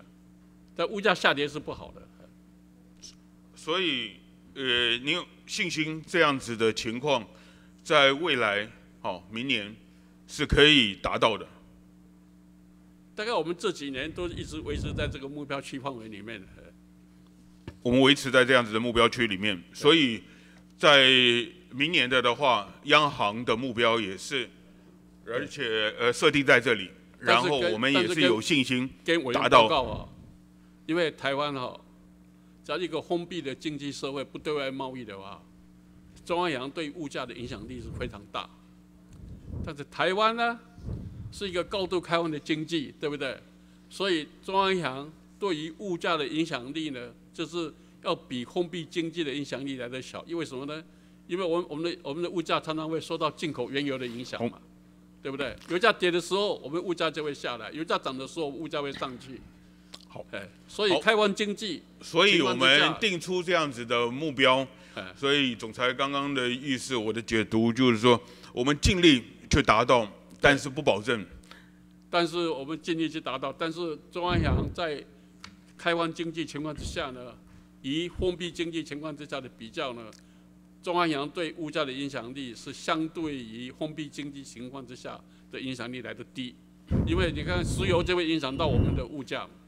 好，我想这个部分的的话，牵涉到我们总体的经济发展的目标跟策略。另外最后一个问题，请教呃总裁好。呃，刚刚我们有非常多的委员同仁也跟您提到，我想我们每一年大概好，最近这些年来，我们每一年大概都缴库呃一千八百亿，好，占我们呃总支出的这个部分将近十分之一啊。那我想呃，总裁站在您的呃呃角度里面，好，这样子的一个呃情况，我们国家的的支出。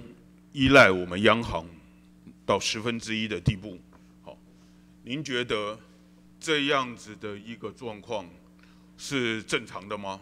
是好的吗？我跟委员报告了，最好政府的税日是主要是来自税收，对中央的依赖度呢不要这么高，那是最最好的。因为中央的营收呢有高度的不确定性了。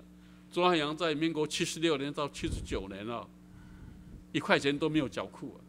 是，所以未来有可能，我们也有可能一块钱都没有办法缴库的时的问状况发生。这是外这样子的话，我们在这个部分就会少十分之一。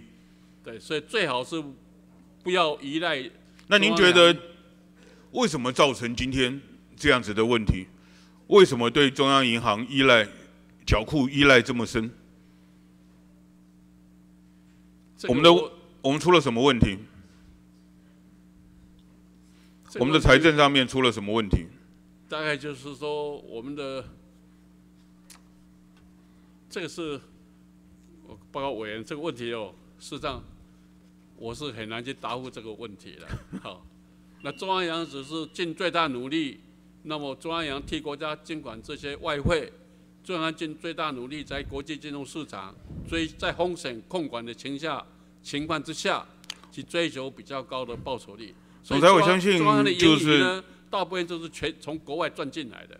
我相信您不是呃不知道答案是什么，而是不方便把答案讲出来。好，我想以您的业在这一个工作上面这么长久，然后对于国家无论就是说在呃经济发展、我们的财政的就是说现况，好，为什么会有这样子的呃状况跟问题产生？我想您是非常了解的，只是您不方便。在这里回答，好，那我想这个部分的的话，也是我们政府在我们整个的财政，在我们的税收上面要做做进一步检讨的。好，今天非常谢谢您的回答，谢谢，谢谢。好，谢谢王委员的咨询，下位请费永泰委员咨询，委员咨询完毕，我们休息十分钟。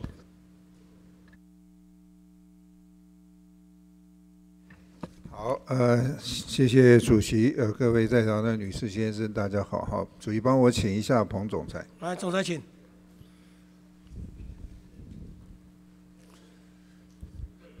总裁好，哈，这个我们还是今天虽然业务跟你不相干的，但是还是想要了解一下台湾的股市哈。我们明天呢可能会谈到哈，就是我们正交税啊，要不要？要不要？要不要？呃，要不要的把它减少一点？呃，我纯粹从一个官员的角度来看，你觉得正交税此时合不合适去做一点调整？会员，你可不可以让我不回答这个问题？好，对不起啊，啊，你知道我这是非常难答的问题。对，呃，这个。很多东西是稳定性的问题哈，讲一个稳定性的。当然，我讲稳定性这三个字出来，大概也代表我的一些看法哈。像大家今天现在最怕的就是美国的大选嘛。我给你报告一下，十分钟前啊，川普拿到了一百二十八张票，希拉蕊拿到了九十七张票，所以台湾股市为什么瞬间呢大跌？瞬间大跌一百多点啊！因为大家也都知道，川普啊，如果一上来对亚洲，尤其是对台湾，会可能会进入到寒冬啊。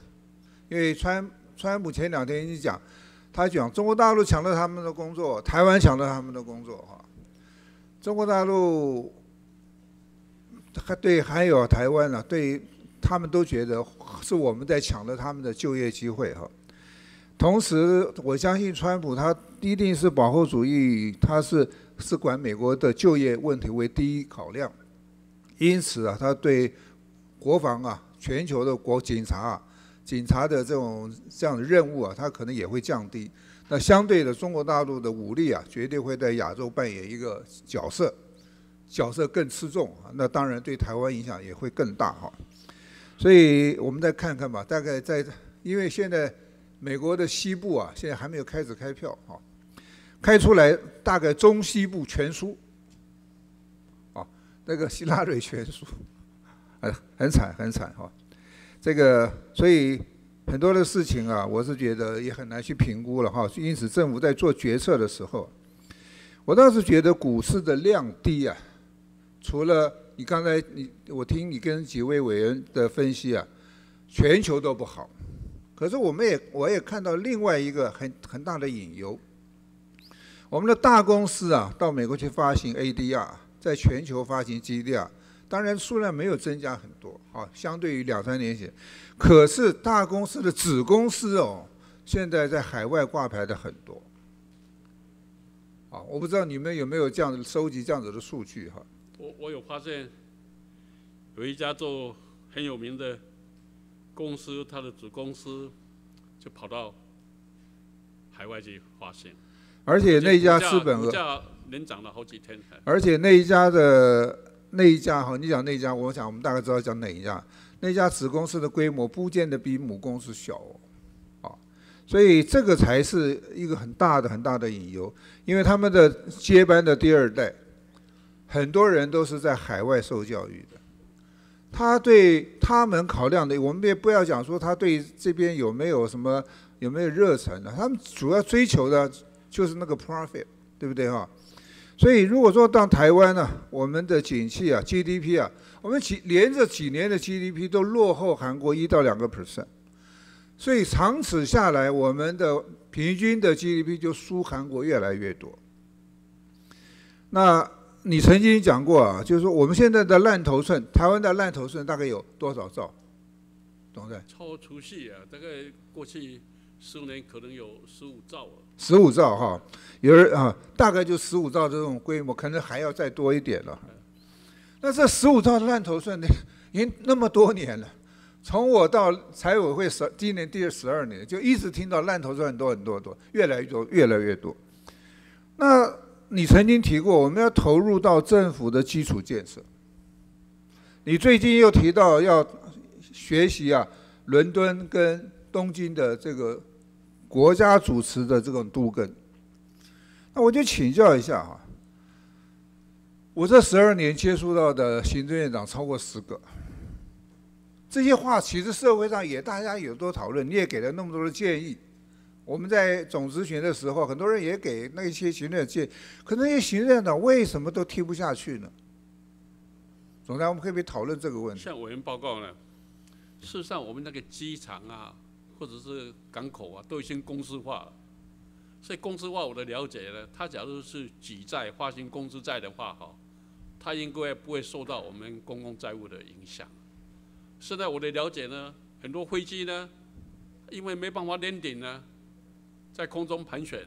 半到一小时。对啊，半个小时到一小时。在香港呢，它没办法起飞，为什么台湾没办法 landing？顶？所以这个基础建设是的确是要去可以去改善的话，可以提高我们的生产力，而且这种基础建设绝对不会浪费掉。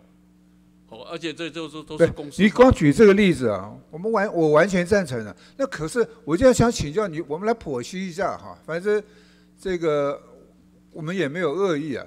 那为什么那十多个行政院长没有一个人愿意听社会大众给他们的意见呢？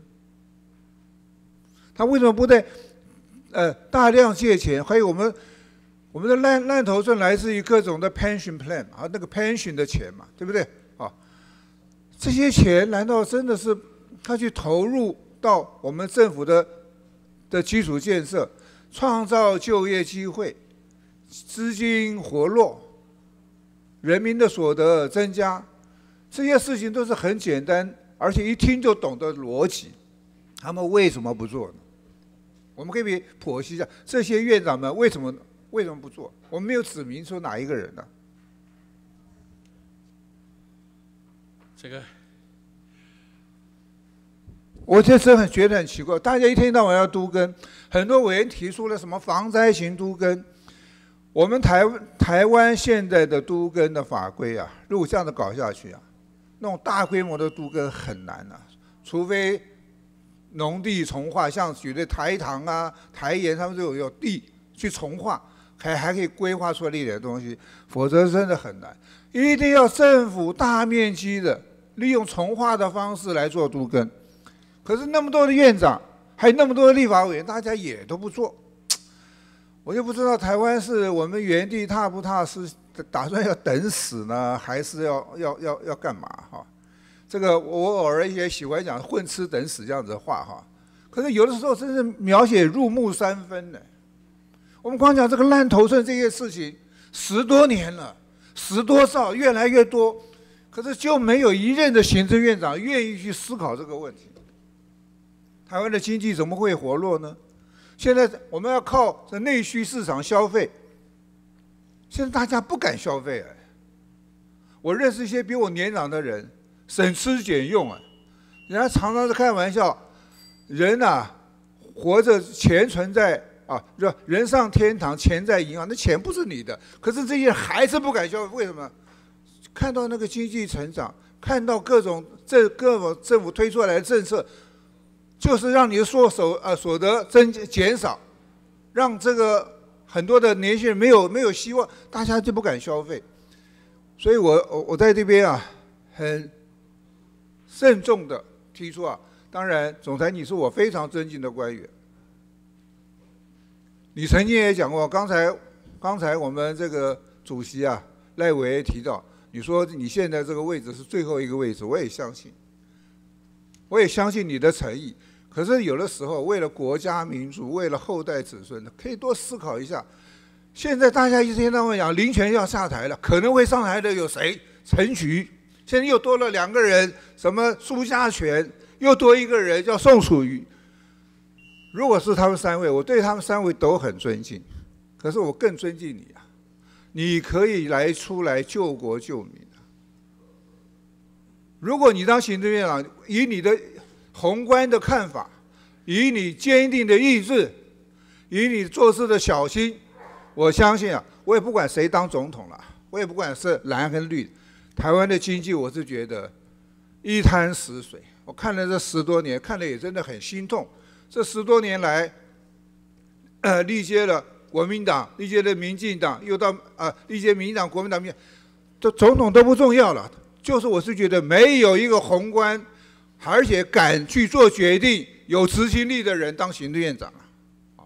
我从来不会劝你去当行政院长，可是我觉得这个时候真的语重心长，与其让那几位啊，我也很尊敬的人，陈菊、苏家学、宋楚瑜，我是觉得。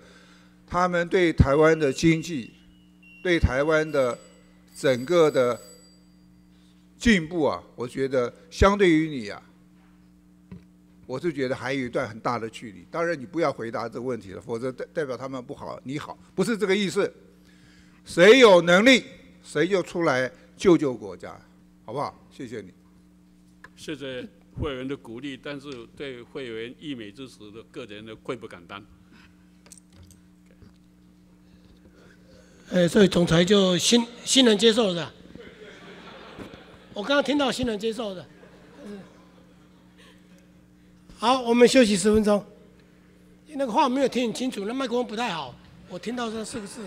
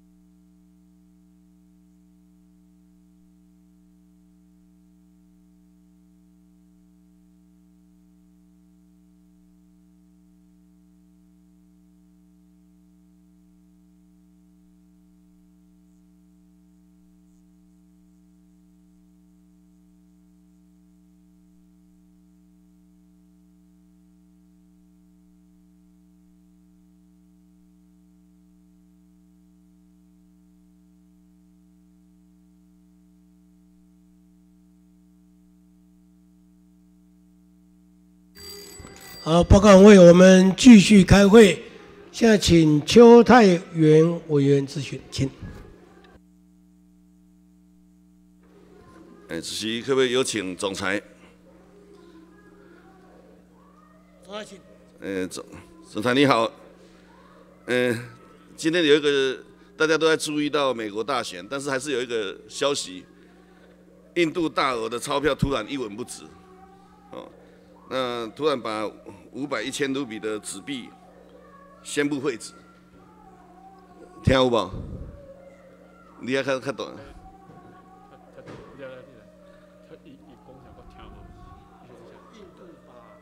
因为那那边声音比较大，所以可能你那边听不太清楚。印度突然宣布哈大额的钞票废止，好，那这是他们想要打击贪污跟洗黑钱嘛？哈，那片面来宣布作会。像这样的情况，您觉得怎么样？在台湾有没有可能发生？因为我想我们不需要跟跟进了，我们没有理由跟他跟他这样做。哦，这这种方法不好。我是觉得不必然要用这个方法去打击贪污，打击贪污的方法很多方式啊。哦，是好，所以哦，事实上跟委员报告呢。我们现在那个现金提领啊，五十万都要登记啊。哦。他这要超过的话要送，我们都有在 monitor。但是有些我们要看乡下的老人家啦，哈，或我们要知道民间疾苦啊。嗯。有些老人家然后他们存了很多年，可能家里存了很多钱哦。不会，不会，我我们不会，嘿，当然。那家里啊，你。钞票大概在老人家，他不大会去用电子货币了。老老人家还他还是喜欢。不是，我说纸钞啊，纸钞啊。对，老人家喜欢用纸钞了。对啊，我说他们可能藏藏很多纸钞，有一天会不会被宣布废纸？绝对不会。嗯，新台币永远是有价。全部老人家的钱都要拿，也不是说废纸啊，他要拿出来换呐。啊。好，他要拿出来换嘛，所以就知道你家里藏有多少纸、多少钱这样子。不不会了。好，这是一个应景一下新闻了哈。好，那我们看一下，有一些新闻说领钱的时候哈，那个吐出来的千年钞有落惨哈，手指染染色的哈。那有吗？有时候在点钱点钱的时候，手指也会变成蓝色。好，这个都是确实有这样的报道。那好像一副很很像假钞的样子，但其实是真钞了哈。那我倒是请问一下哈，我们的钞票会不会油墨会不会掉落？不会，我跟委员报告哈，因为我们那个钞票是用凹版印刷，对不对？凹版印刷的时候，它那个刚新钞出来的时候，放在 ATM 会会有一点，会磨会磨磨过来，磨一点。那为什么会有那种落彩的现象呢？不是，它那个是因为新钞新钞的关系新钞的关系啊，哎，它是旧钞不会。你要不要我我请花金机长？好，谢谢，麻烦一下哈。呃，报告委员，呃，是这样子哈，因为我们印出来的新钞，在 ATM 放在 ATM 是整叠放在上面，那么 ATM 那个机器哈，它是等于是把它夹出来，它有经过一个轨管轨轨道哈，把它夹出来以后，夹出来它会有或多或少一些磨损，因为我们那个钞票是凹版印刷，它是有有不是一个平面的。这个才是一个很好的一个防伪的一个设计了。哦，是。好，那我再请问一下，这样的油墨成分是什么？它有没有毒性？我我选那个我们好金制厂的。好，麻烦一下哈。我想请问一下，有没有毒性？会不会影响民众的健康？呃，报告委员，我们所所使用的油墨的成分绝对是没有毒性的，啊，绝对不会影响民众的身体健康。好，那您。有没有有没有单位检查过哈？流通的钞票上面细菌有多少？呃，细菌有多少？要看它在哪边流动。会不会传？会不会作为一个细菌的温床，然后传传染到流通，然后影响民众的健康？呃，报告委员，因为钞票啊，使用的人数很多啊，所以我们建议啊，使用完钞票不要立刻啊，呃，放到嘴巴去吃东西，最好是洗个手。哎，谢谢。洗个手。哎，这跟钞票没关系，是因为看谁流通，在哪边碰到细菌的问题。钞票本身无罪啦，但是摸来摸去就有问题嘛。那请问一下你哦，贵行那个大概多久会进行一次一次钞票的换新啊、改版这种的？给委员报告，这是两种哈，一种是我们有个检钞机，检钞机它就都用机器去检，它看看那个老旧的钞票的程度，设定一个参数在里面，那么机器会跑出来，老旧的钞票就把它毁烧毁掉。哦哦，那么这样保住钞票比较干净。你是说哪哪个地方有这个机器？我们有机器，有我们有买机器啊。不是啊，那是在央行。我说平常的，平常的那个便利商店啊，买卖有没有？不是不是。鲍委员，事实上我们现在用的钞票一百元券，我们大概平均一年半就销毁掉。我们用新钞来配它。那么这个机器呢，是在台湾银行的三个总行。再加上台中分行跟高雄分行，我们叫做高速整钞机。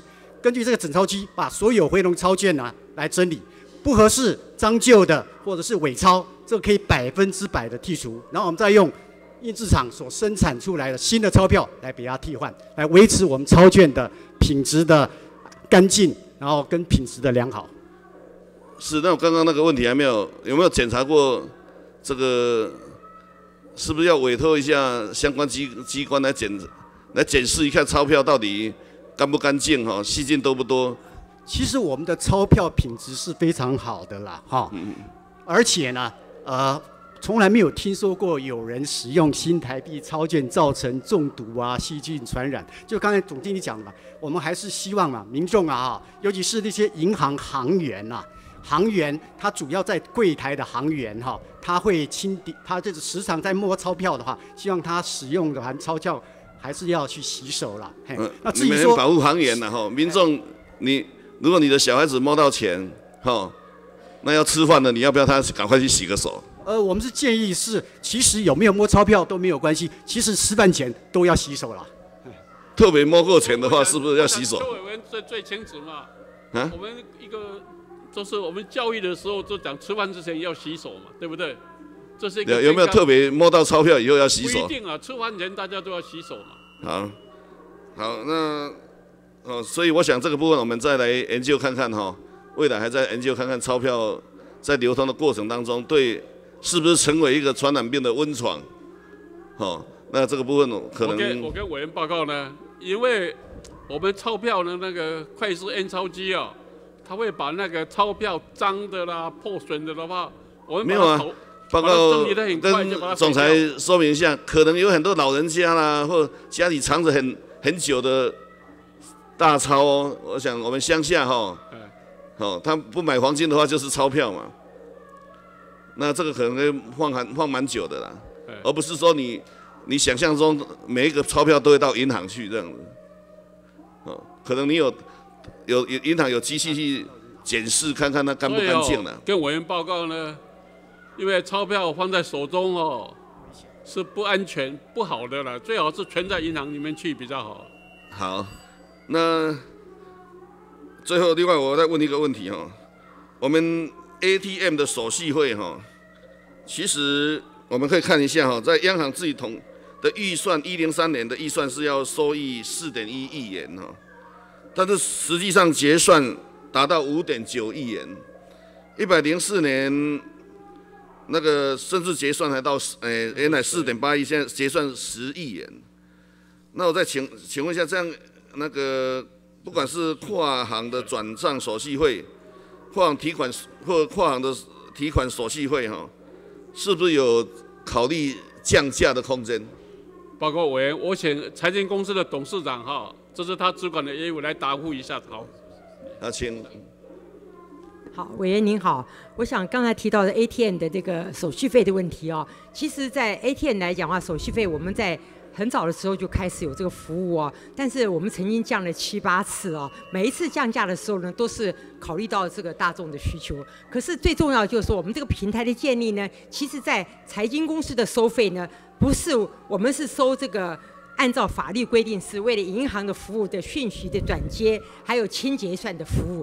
但是呢，我们不是说对直接对民众，是对于这个机器设备收发卡行跟这个收单行之间的服务而已。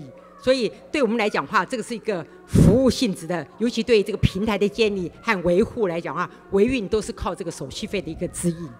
但是有超过超过你原来的预算呢、哦，结算都有超过预算很多。哦结算是第一个，就是我们其实在这个平台上发展了很多的这个共用平台的功能。那其实很多银行陆续的加入我们的平台，所以呢，相对来讲话，它会有增加量。随着经济的成长力也会增加量。那当然在支出面来讲话，我们也是有非常多非常多的节省，所以相对来讲话，它会有好，部分为了民的增加民众哈，希望能够是检讨一下哈，都既然结算比较高，可不可以降价的空间？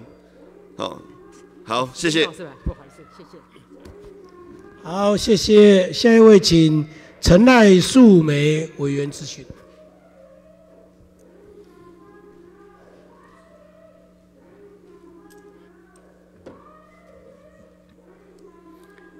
呃，主席，我想请我们的彭总裁。哎，总裁请。委员好，嘿，总裁早，呃，请问彭总裁，呃，最近有没有跟我们的那个呃蔡英文总统呃会面？报告委员呢，这个最近哦，是指多久？哦，哦，最近是指多久哈？呃，我是想问了哈，针对台湾的经济问题哈，呃，彭总裁有没有向我们的那个呃蔡英文总总统提出任何的建议？跟委员报告呢，我理监事会之后的新闻稿以及相关的资料，我马上会送给财委会的各位委员，我会我也会送给总统，送给院长，同时呢，我会把它上网，我都有送嘿。都有送哈。那呃，今年的九月二十九号啊呃比较不好意思，因为外面抗议声很大声哈，所以我声音比较大声，不是对总裁不礼貌哈。啊，今年的九月二十九号，中央银行的里监事联席会议，呃，特别呃，我想总裁有给我们记者一份资料，里面的标题是“突破经济困境，走出低成长的陷阱”。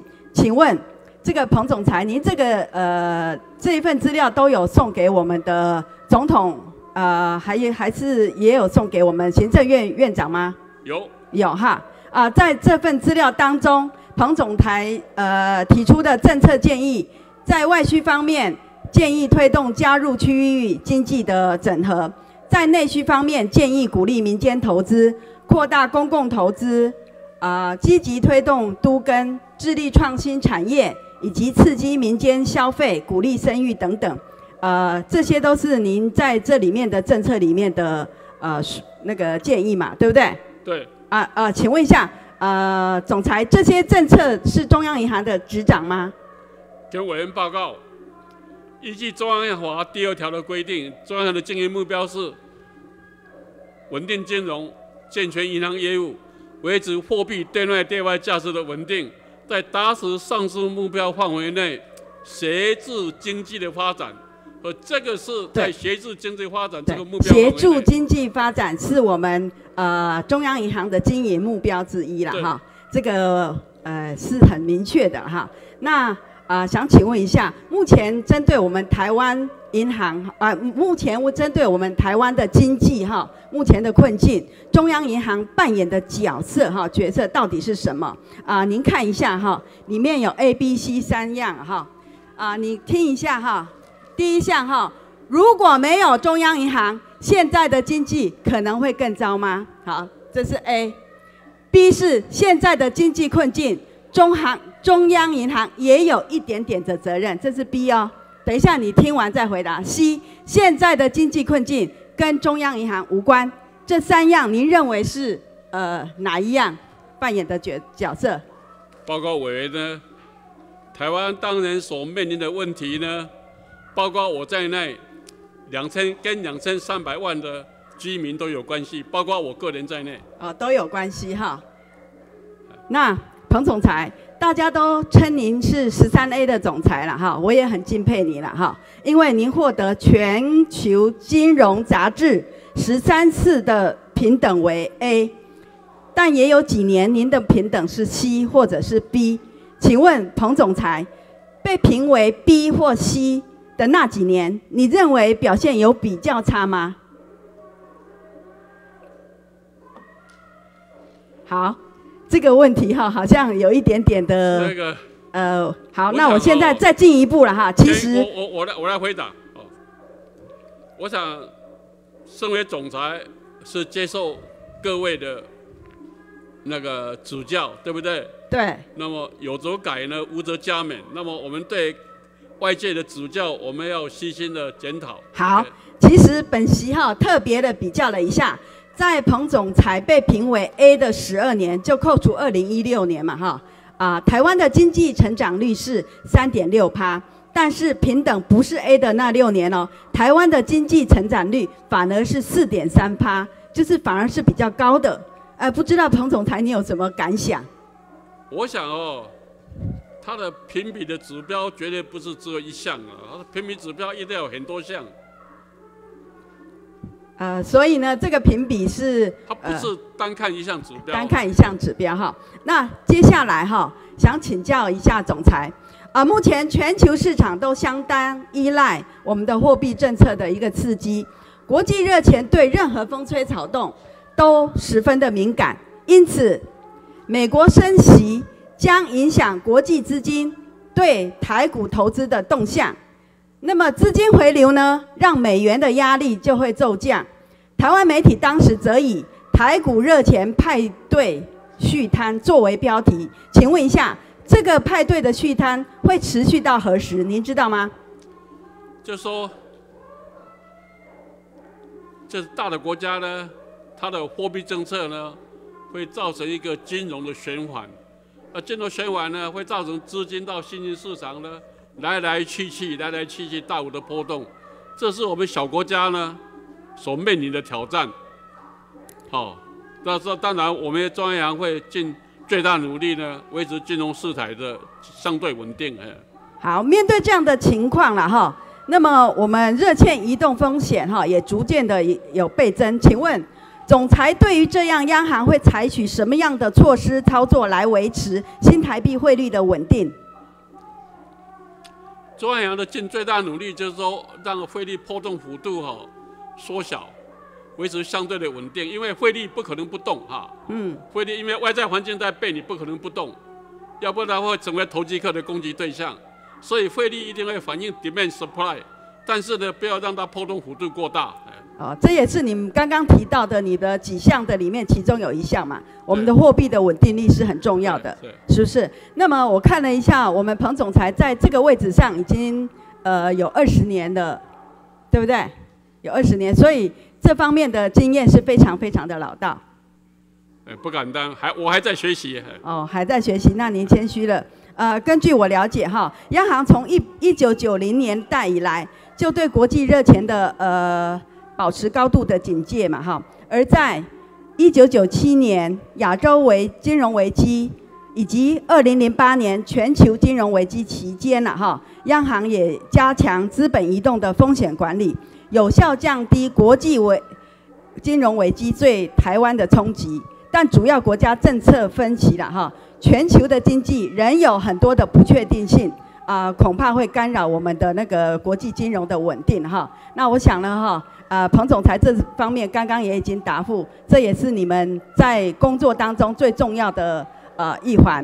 那我想哈，尽管哈大环境不佳，但是呃，总裁在您的领导之下，我们的那个一零六年度的预算呃缴库一千八百亿左右，比去年的增加了一千三百六十五万元，呃，展现了国库金鸡母的实力哈。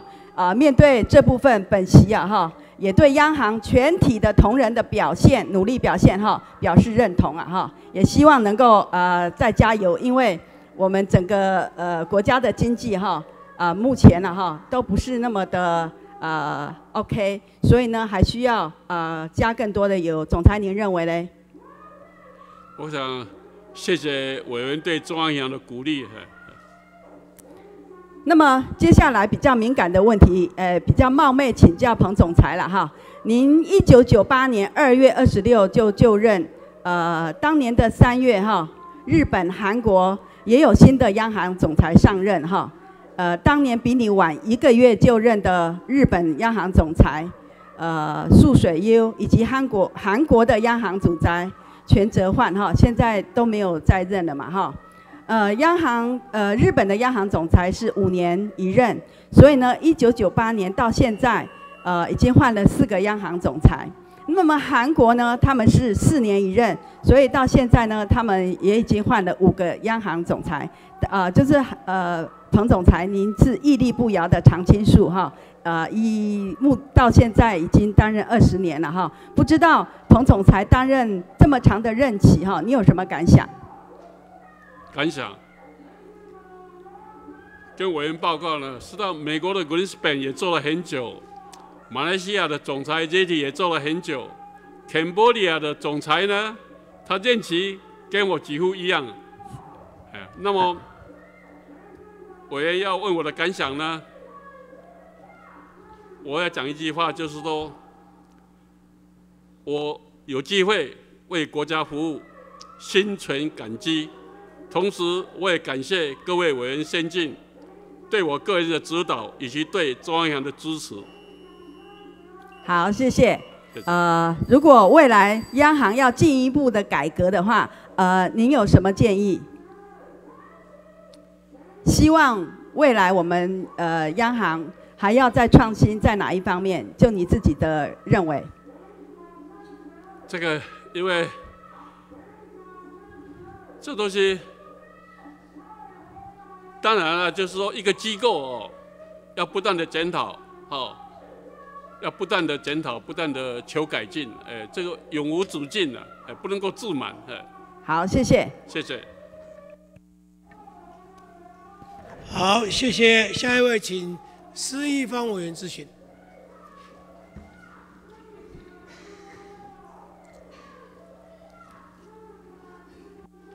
哎，请本总裁。来，彭总裁，请。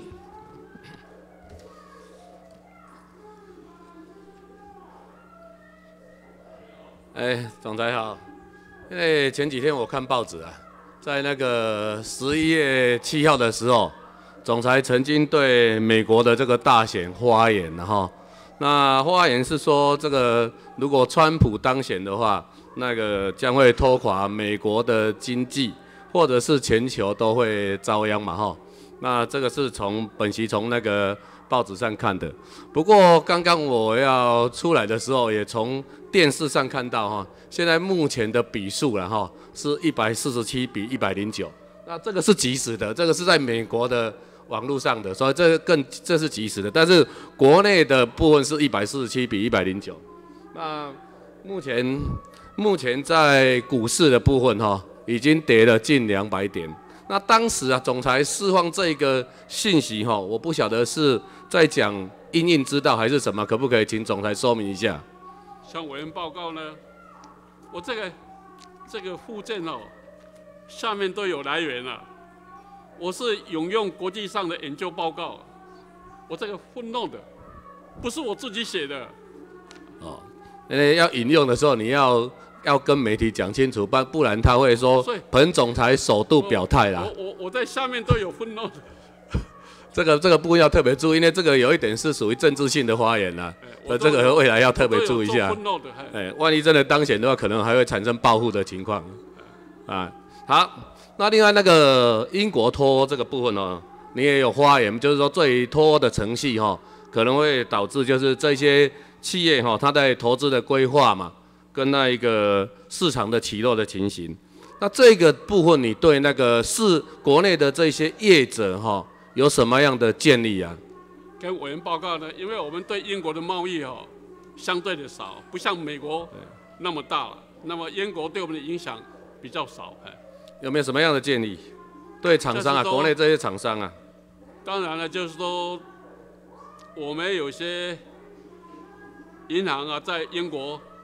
设有分行，对不对？他假如说他采取挪威那个方式，OK，还是维持的非常好的关系，人员还可以自由进出。他假如采取硬脱欧的话，那么伦敦的那些金融机构啊，他就重要性都会降低，而且美国的金融机构也在研究啊，是不是要把英国的 office 迁到其他国家去？这是我们要考虑的一个问题。好，好，谢谢。那另外就是央行啊，对台湾的利率跟汇率的部分哈，有做一个总管嘛哈。那这个也跟国内的经济的指标哈息息相关呐。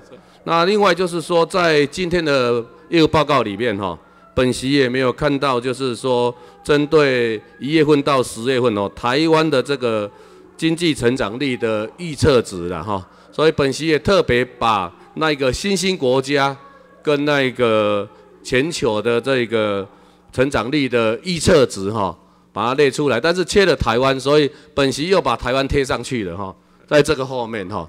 那这个贴上去了以后，本席发现一件事情哈，就是说全球的这个这个预测值哈，跟新兴国家它不会变动的太大。它不会变动太大，但是台湾就很奇怪哈，这个从二二点零哈一直预测，预测到现在一点二哈，这两条线哈的差距哈，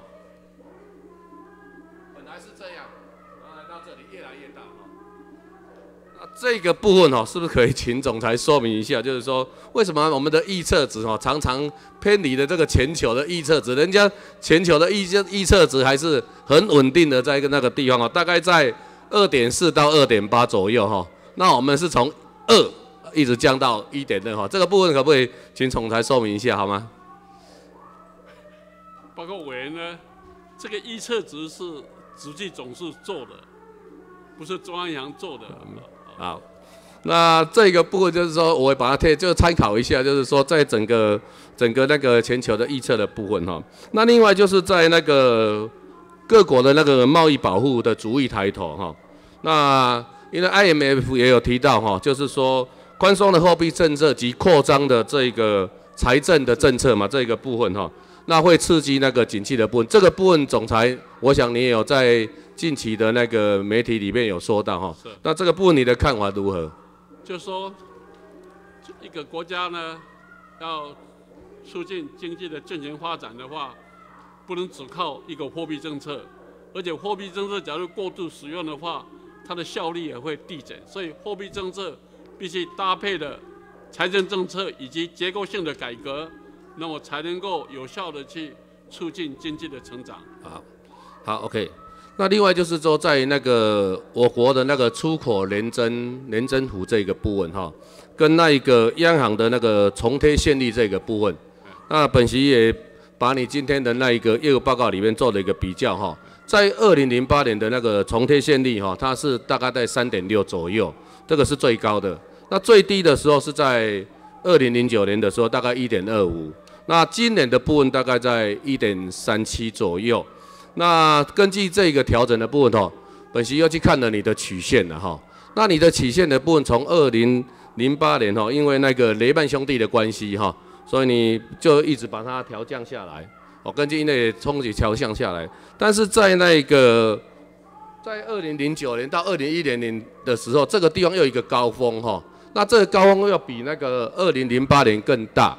那为什么在这一段时间哈没有急速的把它做一个调整，而造成哈在目前目前你停留在在这个一点三七的部分，这个地方你在下修的话已经没有空间了哈。这个部分可不可以说明一下，当时为什么不调？嗯，利率呢，只要是考虑当前物价的压力以及未来物价的展望，这是第一个考量哈。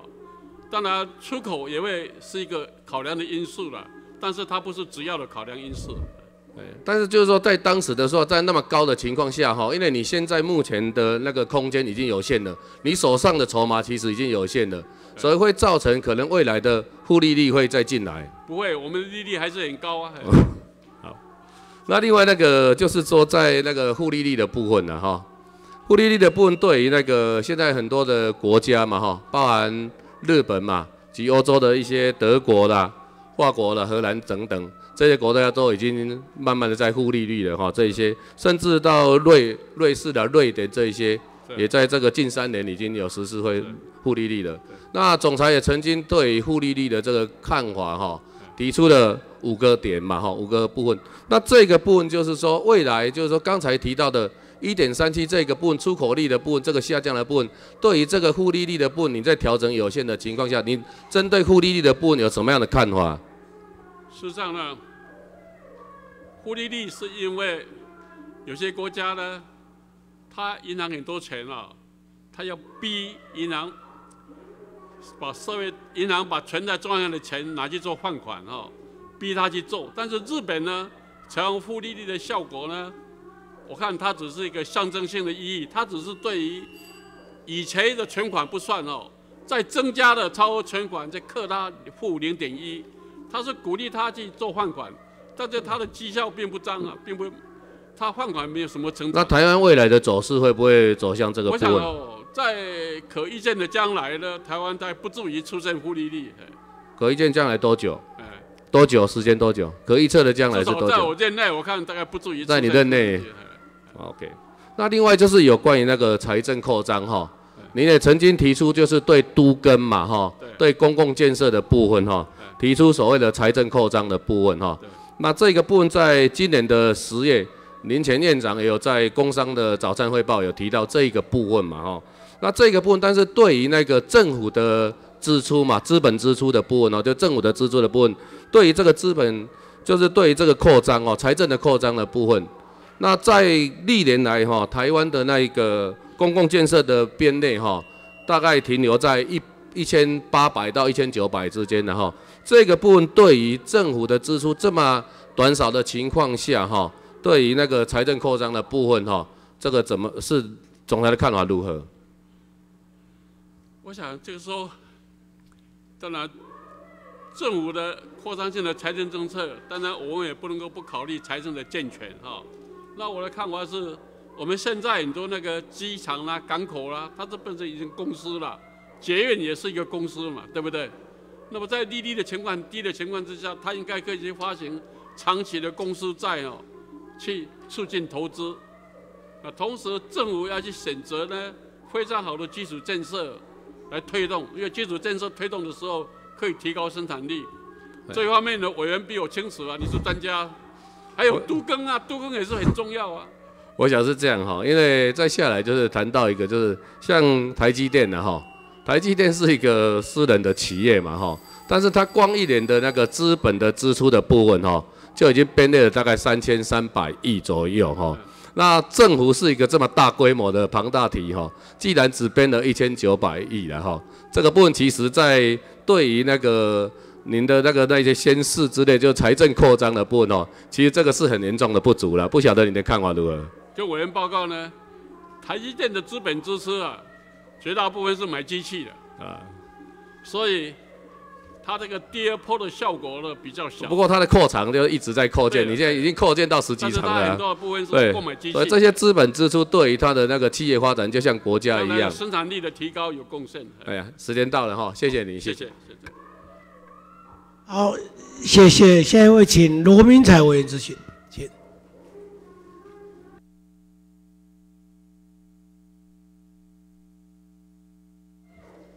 主席，各位出列习惯的哈，主席可否请彭总裁？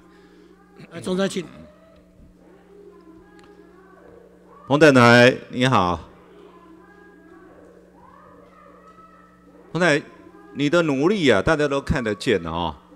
那对于现在目前呢、有一些杂音啊，他说央行长期操控汇率，而且主升不主贬，那事实上已经严重影响到本席对彭总裁的敬重，虽然还是一样啊，没有改变的哈，毕竟十三 A 的总裁哦，十八年来战战兢兢。功劳啊，大的多得多。但是我们看到有一些少数人啊，在鸡蛋里挑骨头。面对这样的一个贬义啊，不晓得总裁的心态啊，如何面对这样功过是非？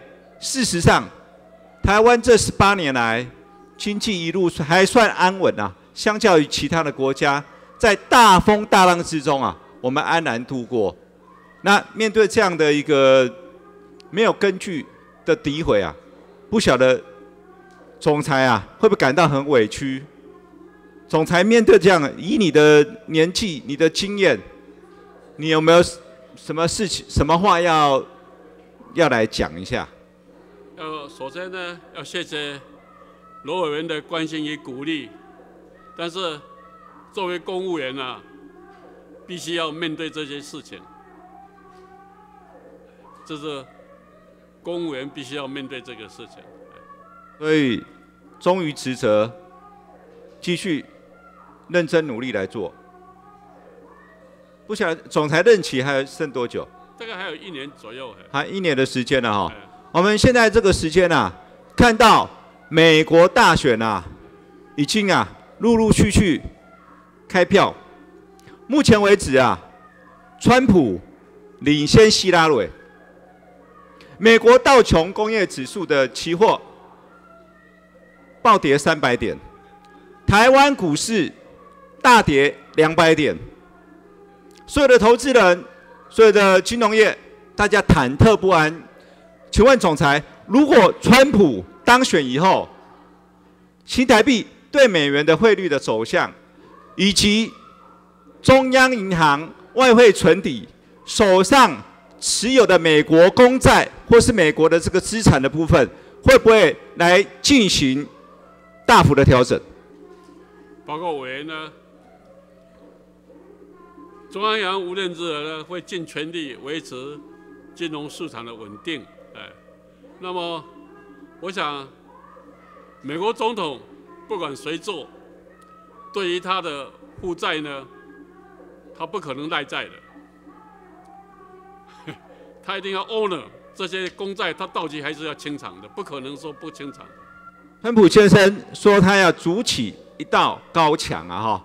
他要创造一个伟大的美国，让美国伟大重新再现。这意味着未来美国的保护主义啊，如果由川普先生来当选总统的话，未来保守的这个企业呢会越来越高。那么，请问美元的走势会越来越强哦，或者会不会间接影响到台币对美元的汇率？像委员报告呢，委员从事很多次选举了哦。大概他选举的口号呢，跟当选以后的施政呢，我不认为是百分之百的吻合了。而且美国呢，它是一个民主政治很上轨道的国家，它还有参众两院哦，也不是说某一个人当选总统，他就有为所欲为的自由。请问现在央行在美国的公债？持有的比例以及金额大概是多少？我我手中没有这个数字哈，我呃在电。而以我们外汇存底四千亿的美元来说，我们大概持有美元的部位大概有多少？我我手中没有这个数字哦，我再找一个时间再跟委员报告，好不好？有没有做过调整？跟委员报告。因为在之前的话，大概占有七成。左右的比重。委员报告呢，中央银行的币外汇存折的币别组合哦，事实上每天都在调整。是，那它都是微调啦，啊，因为它还有一个基本的一个水位在那个地方啊。那本席想请教的说，如果川普先生他当选美国的总统，那么我们外汇存底未来的部位的变化会不会作为调整？哦，甚至会不会加持人民币？哦，或者是减持欧元等等？会没有会不会做什么样的一个变化？我只能够跟委员报告呢，这个外汇存折的必备组合呢，是我我们有一个小组经常在开会，对不对？那开完会之后呢，经常会做调整，而不是说对某一个人当选才去做调整。我们是经常根据一些客观指标，经常在调整。好，那现在大家在讲说新台币对美元的汇率啊。有没有可能在未来啊，呃，产生一个改变？好，因为外界一直讲说，央行长期以来主升不主贬，造成资金长期的泛滥，台湾变成长期的低利率，助长了房价飙涨的歪风。对于这样的一个说法，不晓得总裁有没有怎么样的说明？跟委员报告呢，那只是不知本，现在台币怎么会对美金升值呢？对不对？然后，那房价怎么会回稳呢？当然，因为这东西呢，美国人有言论的自由，哈，我我也尊重他们。是哈。那现在面对整个国际的情势啊，大家都在看美国的大选。事实上啊，这个影响啊，大家觉得非常非常的大，包括金融哦，包括未来台海的关系。那这样的一个互动啊，不晓得总裁有没有什么建议给我们？也就是说，我跟委员报告就是说，中央银行会跟监管会跟财政部呢共同努力呢，维持金融市场的稳定了。现在已经是非经济因素的影响，总裁赞不赞成国安基金现在马上进入进入股市来护盘？这个要要尊重尊重国安基金所做的决定。是，那如果就整个金融的现在的稳定性来看，国安基金有没有出手的必要？这个要尊重国安基金做决定哎，不能够我来替他做决定哎。好，我们看到美国的这样的呃逆转的这样情况啊，造成美国股市这个下跌。那很多的美国的资金啊，它整个抽离啊，可能要回去美国啊，来救救美国的一个母公司啊，哈，就央行手上的资讯，美国外国人在台湾投资的金额现在大概有多少？我们看到股市啊，现在大概百分之四十五都是外资的天下。大概这个存存量接近百分之四十，流量大概是百分之三十。全量百分之四十。那换言之，百分之四十的话，就是有大概十几兆的外资在影响台湾的股市。但是它动不会全部动了。那最近有没有发现这些热钱有退离的这个迹象？今年以来呢，外资流到台湾还是亚洲国家最多的。那请问一下，现在台币新台币对美元的汇率是多少？现在，呃，多少？三十一点五三七，哎，三十一点五三七。哎，那如果今天大概中午中午左右，美国大选的选举结果出现，川普先生当选，央行会不会积极介入新台币对美元对整个汇市的一个稳定？包括委员呢，中央银行会维持新台币汇率的动态稳定。哎那它的区间大概到多少？有没有可能一泻千里跌到我我现在三十二、三十三？我现在没办法讲啊，哎，要到等到下午才知道啊。那请问一下总裁，如果美国大选出现了这个川普逆转胜的情况，截至目前为止，他的票数是远远超过希拉蕊，远远超过。那面对这样的情况，中央银行要不要随时来待命？如果最后的情况是川普先生来当选美国下一任的总总统，那么台币对美元的汇率会不会有急剧的变化？央行会不会出面来护盘？我只能跟委员报告呢，中央银行会维持新台币汇率的动态稳定。哎新台币汇率动态的稳定是涨跌大概会不会超过十个 percent？中央银行不会让汇率过度的波动。哎对，那个区间有没有超过十个 percent？这个要相对于其他币别的变动幅度，相对来讲，哎好，我想这个时刻其实影响很大的哈。我们希望央行也能密切注意整个市股市哈还有汇市的一个发展。谢谢。好，谢谢。好，谢谢。下一位请林德武委员咨询，请。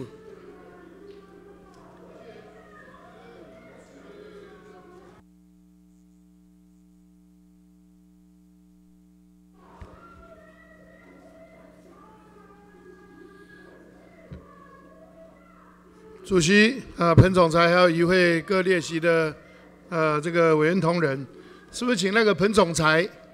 哎，总裁请。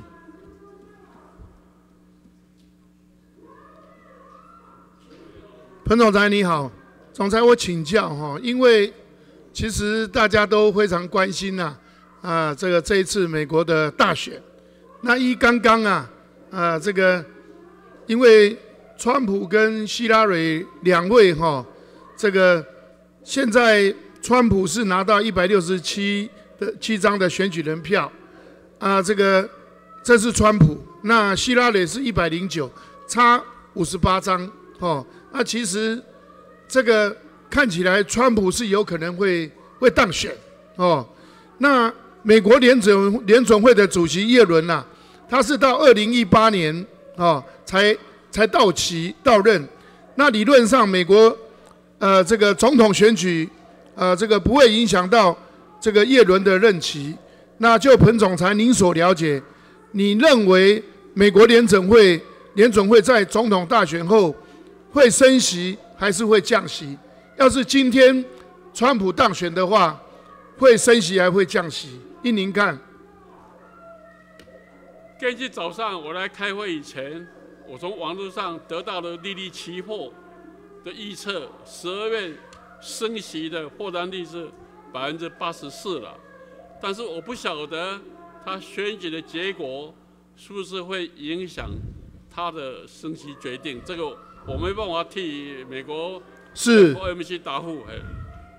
那那个彭总裁，如果美国选后决定升息，那我国央行是否会反向来降息？会不会啊？因为我们的货币政策主要是考量当前的物价压力，以及未来未来物价的走势，以及国内经济情况来做决定啊。我们的货币政策不是跟着一个国家在走。所以说，你已经有一些应应的策略，这个来啊，针对啊，要是说有一些变变化的话，你会做一些其他的方式来调整，让物价稳定。哦，那那个这些是你老早就有胸有成虎，是不是这样？我我们会妥善的应应。那个彭总裁。因为美国总统候选人川普啊，他批评哈美国联准会主席耶伦屈服于政治的压力哦，那刻意压低利率以拉抬美国的股市，那未来新总统将承担升息的后果哦。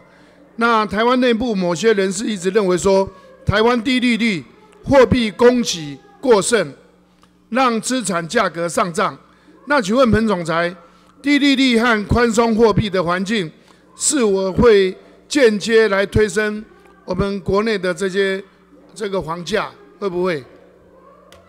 不可否认的呢，利率呢多少会影响到房价，但是房价中央银行没有提高利率，房价也下来了，可见说房价还是受到其他很多因素的影响，它有需求面、有供给面、有租租面的影响。我这一段时间中央银行没有提高利率，那房价怎么会下来？那个彭总裁，对不对？因为哈，这个利率的决策，以央行来看，有没有考量到国内的政治因素，还是看经济数据来表现来决定？依您看呢？中央银行的货币政策应该是考虑国内外经济金融情势做决定，不会以经不会以政治的因素来作为考量，是不是？不会哈，那个彭总裁，对于如何突破我们整个经济上的困境，那央行建议应从这个外需和内需啊这个这些问题来着手。那外需方面当然要推动区域经济的整合，配合南向政策扩大市场。那目前新南向计划前哨站，包括驻新加坡代表都难产。那新南向政策，我想。它的整个前景是堪虑的哦，堪忧。那请问彭总裁，中央银行在新南向政策中扮演的角色，你认为是扮演哪种的角色？我看，因为中央银行在这里扮演的角色，应该是不是主办，不是主办的单位了哦。但是这个新南向政策是。你有没有做一些利率呀、优惠等等哦？这些贷款，呃，央行是否会要求金管会呃，甚至于来加强精简呐、要求银行落实。新南向政策是各个部会要共同努力的哈、但是中央银行不是主办主要的主办单位，呵所以说，大家共同努力哈。那个彭总裁，在央行的操作方式有没有就是说，像这些要呃贷款啊、利率降低啊等等，甚至于在银行的精简呐、这个要金管会来加强等等这些，到底有没有？因为我们的利率已经自由化了哈，那么这时候银行对客户的利率是由银行自己决定的，中央银行很难去干涉他们。那个总裁，我再请请教你哈、要是以目前看啊，这个川普是有机会当选下一任美国总统，那要是他当选的话，对我们整个国内，尤其啊，依您看整个经济上啊，甚至于我们的未来经济的走向啊，包括呃这个呃货币，我们现现阶段这些呃这个上下汇率的调整，什么会不会有一些冲击跟影响？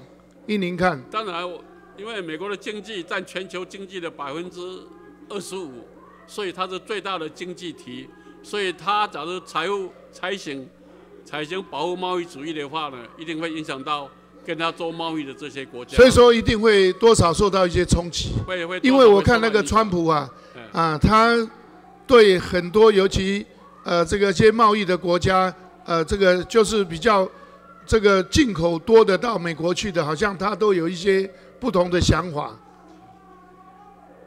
那那那个总裁，你有没有什么认为？要是说今天要是真的川普当选，对未来我们有没有哪些冲击要去应应？我我想这是美国是一个民主政治已经上轨道的国家了。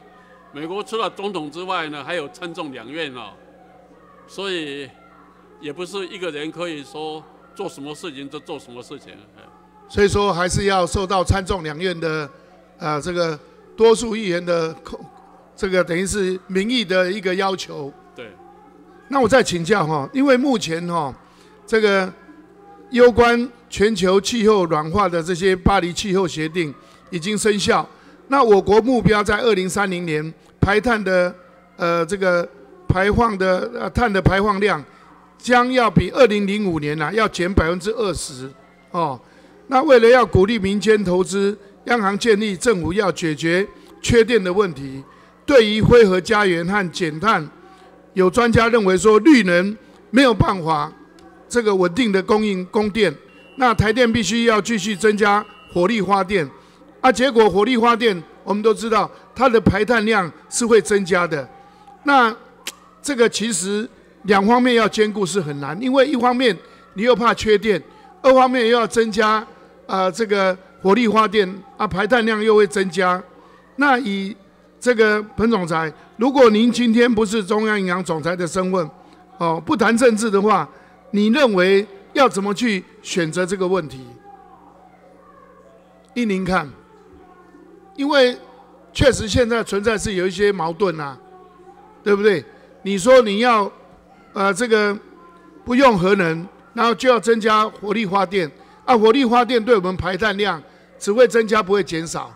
我看最近这个好像这个台电呐、在这个林口电厂又要增加一些，就是呃这个一些机组啊，都是呃用火力发电，那火力发电它的排碳量会增加更多，那这个要怎么去减的这个排碳量，这个也是问题很大。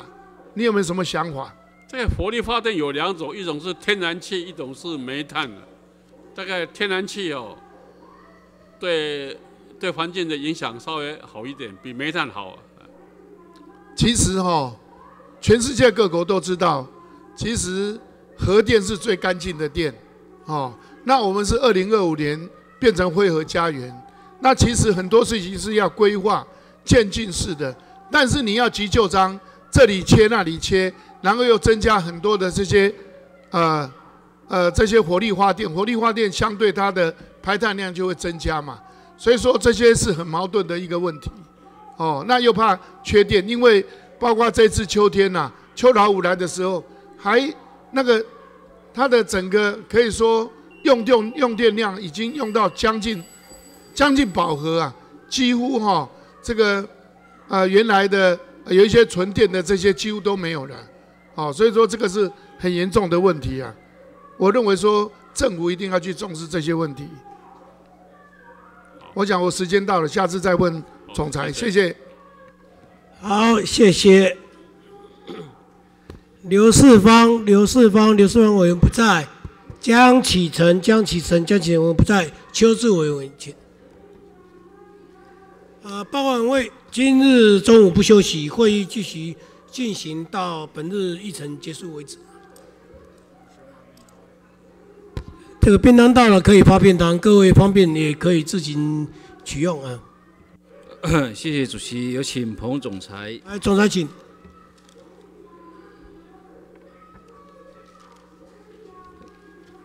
哎，总裁你好，总裁，这个大概这两天的报纸，你都有大概对全球经济啊未来可能面对的四大风险啊，你都做一些说明。今天的报告你也特别提到了哈。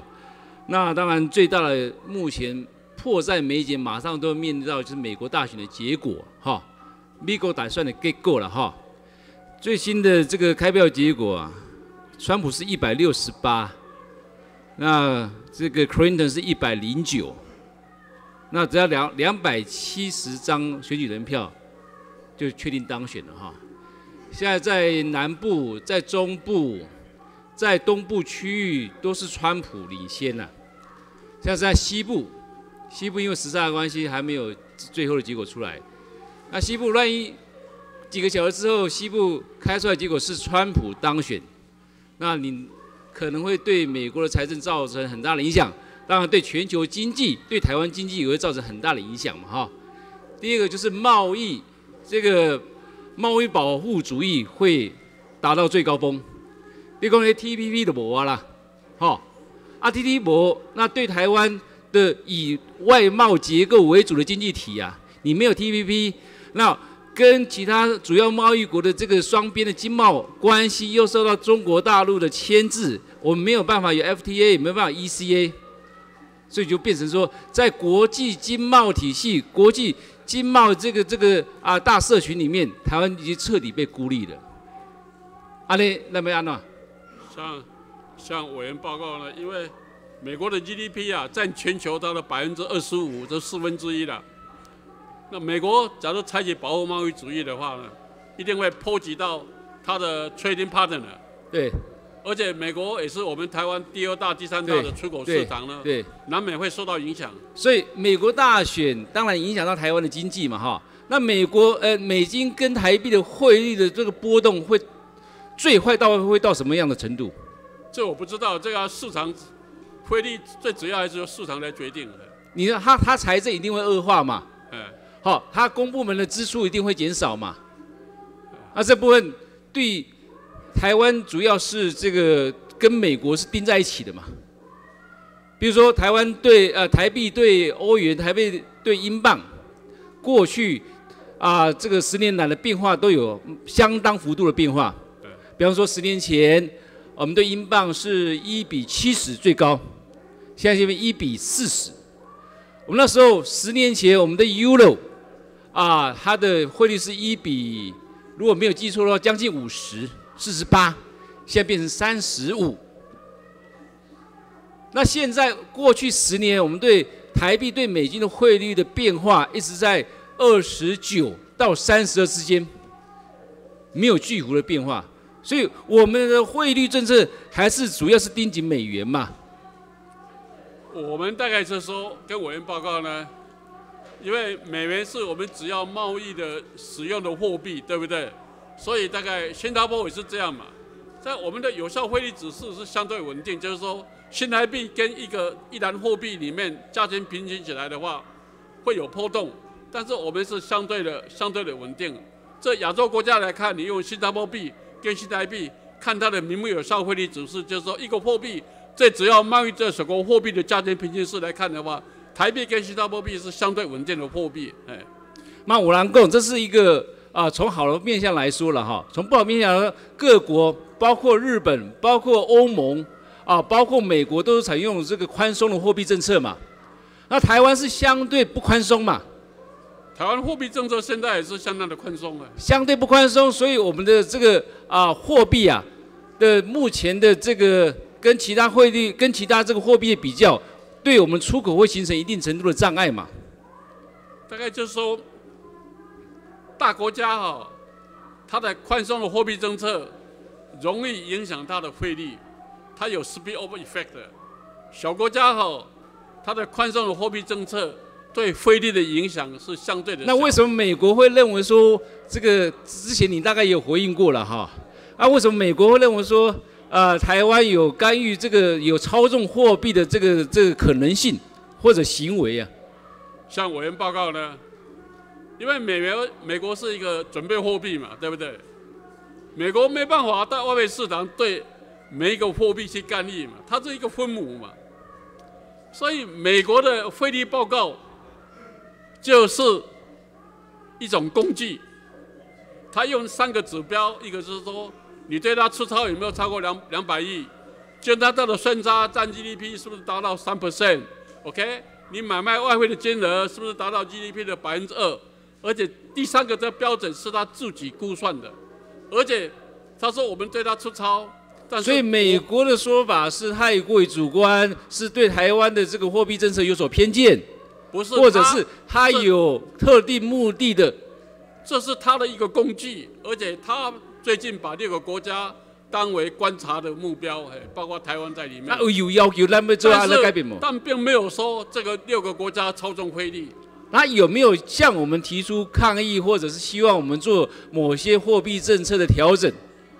我们哦，经常有在跟他沟通了，哎，所以现在很多国家对货币政策基本上已经用到呃到了一个极限了。货币政策啊，可以对经济成长的这个所有政策性工具的效果，已经到了一个极限效果。那大家去思考怎么样去扩大财政啊？你的报告里面有提到，后来财政它透过财政政策、财政的这个投入宽松，比如说啊大规模的公共建设投资，或者到海外去进行当地国新兴国家的公共建设投资嘛，透过这个来带动经济成长。在未来，台湾是不是应该采行这种道路？所以我我我赞同委员的建议啊，就是说，因为货币政策不要过度使用，货币政策过度使用的话，它的效果会递减。所以，因为货币政策已经这么宽松的时候，应该搭配一个 pol- policy mix，就是说，除了货币政策之外，还有财政政策，还有结构性的。我我我请教一下那个那个总裁哦，你觉得我们财政政策是不是相过于保太过于保守？财政政策啊，是不是太过于保守？我我跟委员报告呢，我的看法是这样，因为我们现在有些像那个台北机场啊，或者港口啦哦，它已经是公司化了。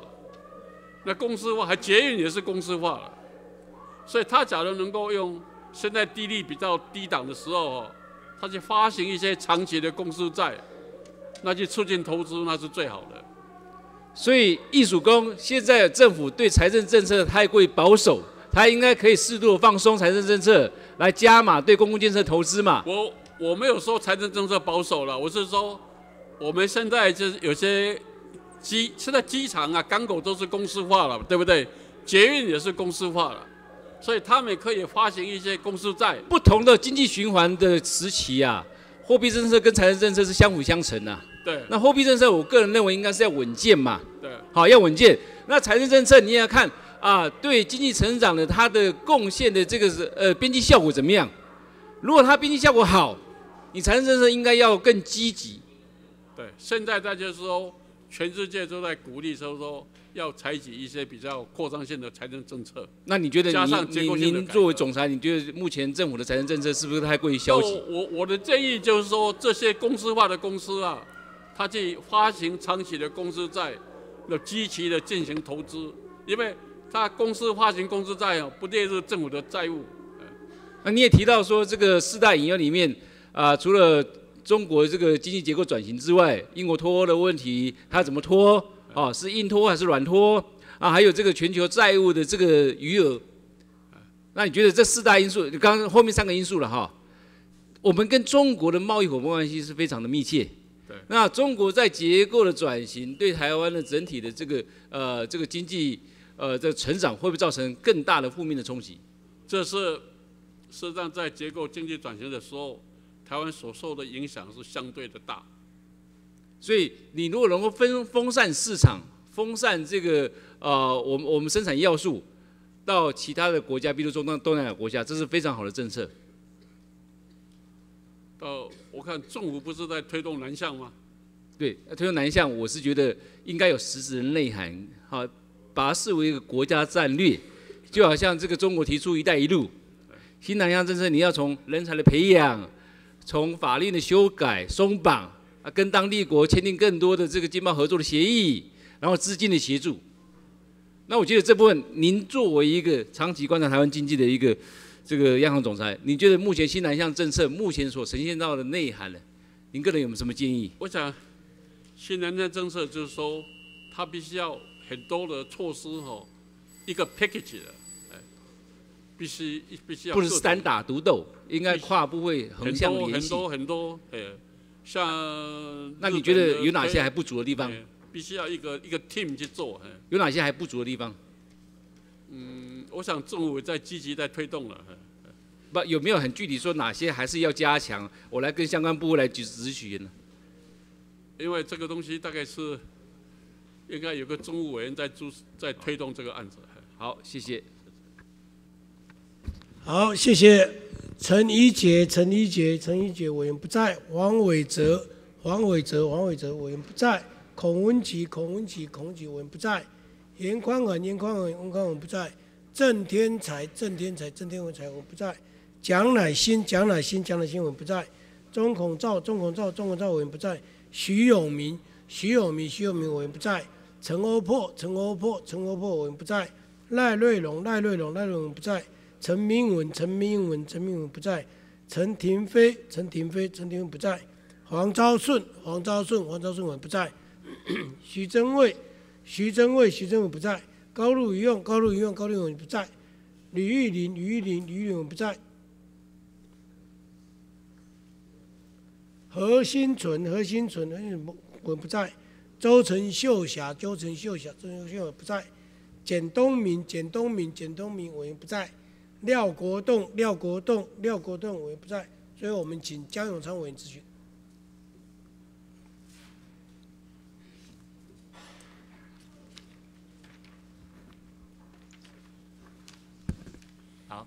好，谢谢主席哈，请央行总裁，谢谢。来，总裁请。好，总裁，我在猜想哈，你今天啊，生来立法院，可是心应该在美国大选了哈。啊，给你看现在最新一七比一九零啊，这关系到美国 TPP 以及美国是否啊重返亚太的一个重要的一个策略，跟台湾息息相关的哈。那但是该执行的责任还是要了。啊，希望今天你就不要做什么休息哈，哎，全力为台湾做好我们各项的一个准备，OK 吗？还是你要简单答复一下？一九零比一七一，他怎么说？希拉蕊赢一点点。哎，他如果现在在看那个数字，主席你要帮我留一些时间哦，不能算了。这个，当然了，我我我我是，我当然要关心台湾了，必然要关心台湾，这是我的职责。好好好。我看我还是进入我的这个今天准备的一个题目了哈。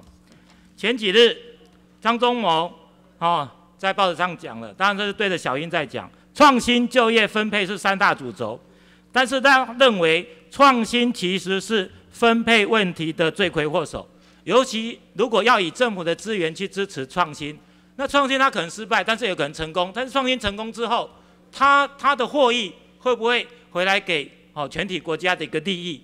这一点不晓得总裁怎么看？报告姜委员呢？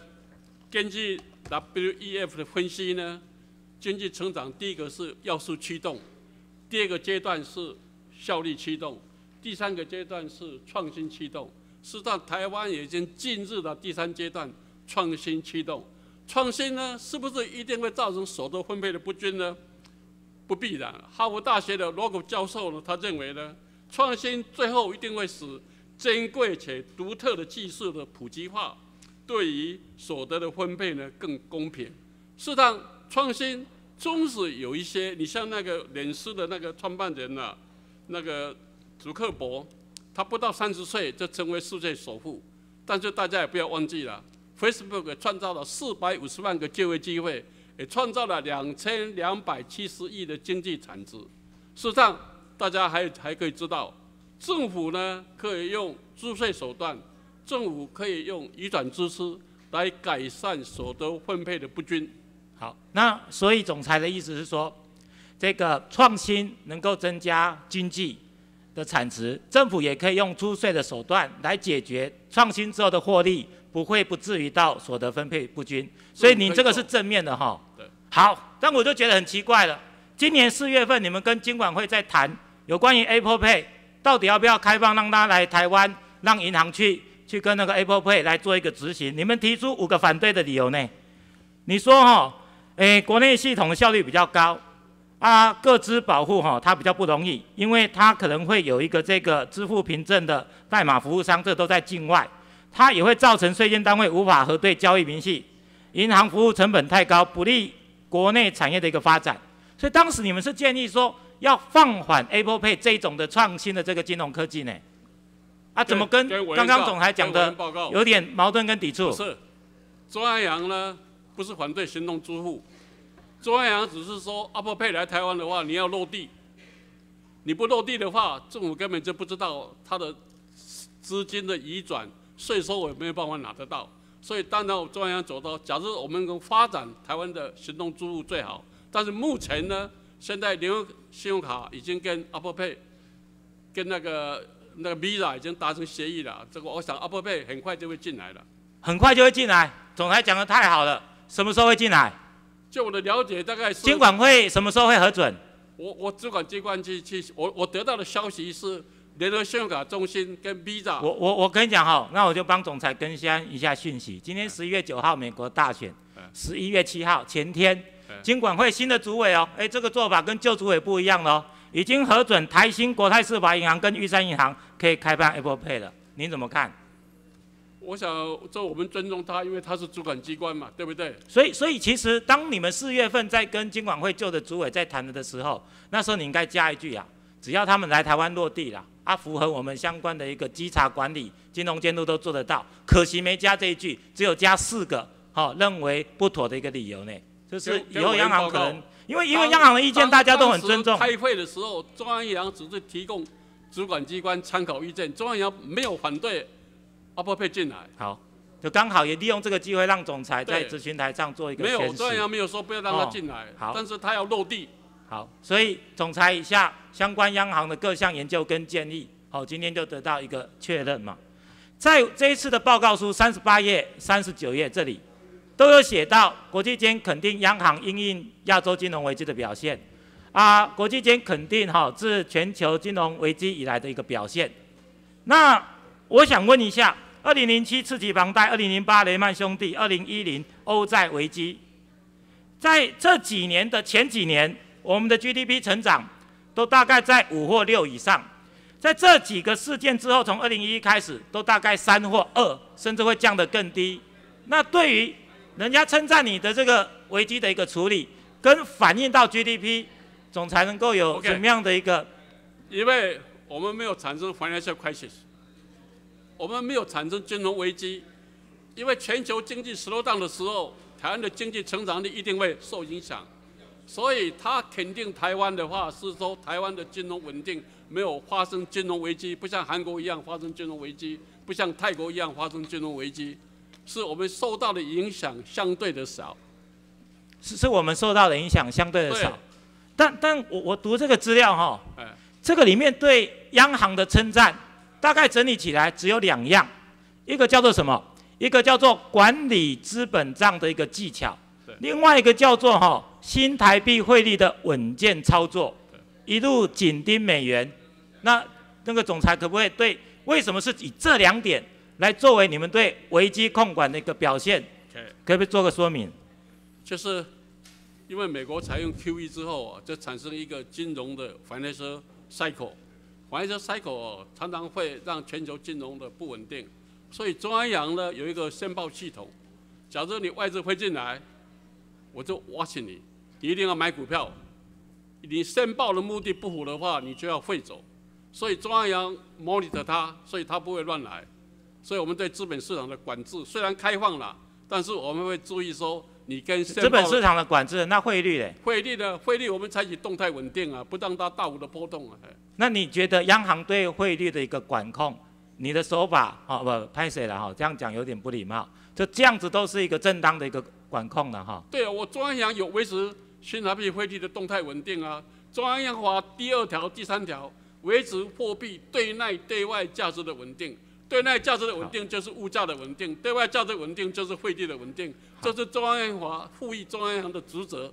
好。总裁讲的我听得下去，但是很奇怪呢，美美国啊，今年五月他说我们四月份的时候，美国的财政部按照他通过国会的三项评估标准，对于贸易伙伴国家，我们被列入这个五个观察的啊、中国、德国、日本、韩国跟台湾，这里面有几个现象，第一个，只有这五个国家当中，也只有台湾是持续净买入外汇，然后三项我们犯两项，经常账盈余占国内生产毛额 GDP 百分之三，任一年度一再净买入外汇金额达该国 GDP 就我们哦的百分之二以上。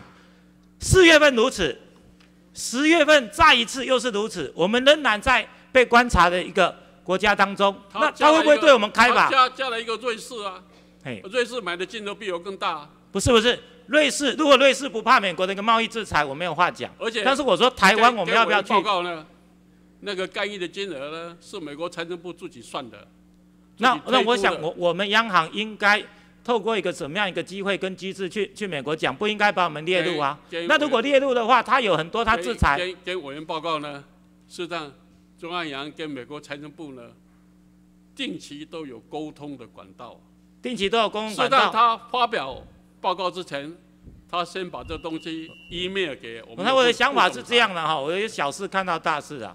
那个赵凤金啊，这个美国纽约分行对不对？他难道跟美国的 DFS 都没有沟通吗？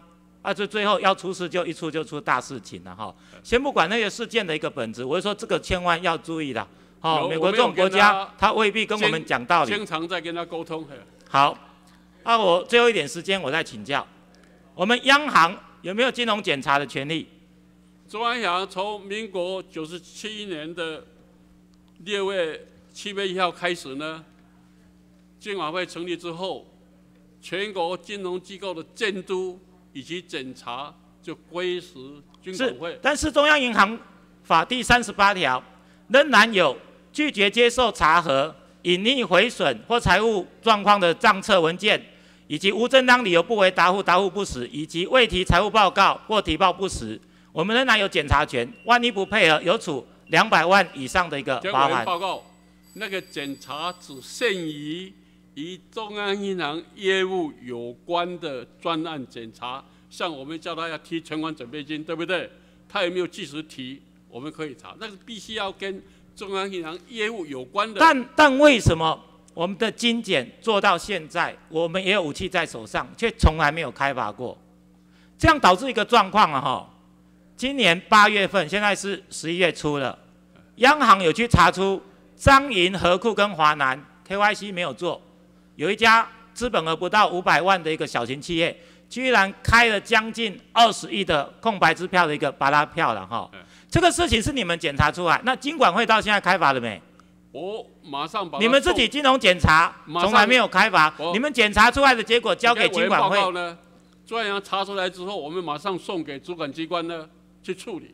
而且我的了解呢，减掉单位现在也在了解。时间过这么久了，所以我觉得我们的那个自己国内的金融法尊、金融秩序都没有建立得很好，这引以为忧啦。好、啊，希望总裁在这一方面，好、能够看尽什么样的一个力量，好、能够来帮助、来帮忙。谢谢。好，报告委员会。好，今天的报告及询答全部完毕。委员询答未及答复的部分，请央行在一个礼拜以内书面答复。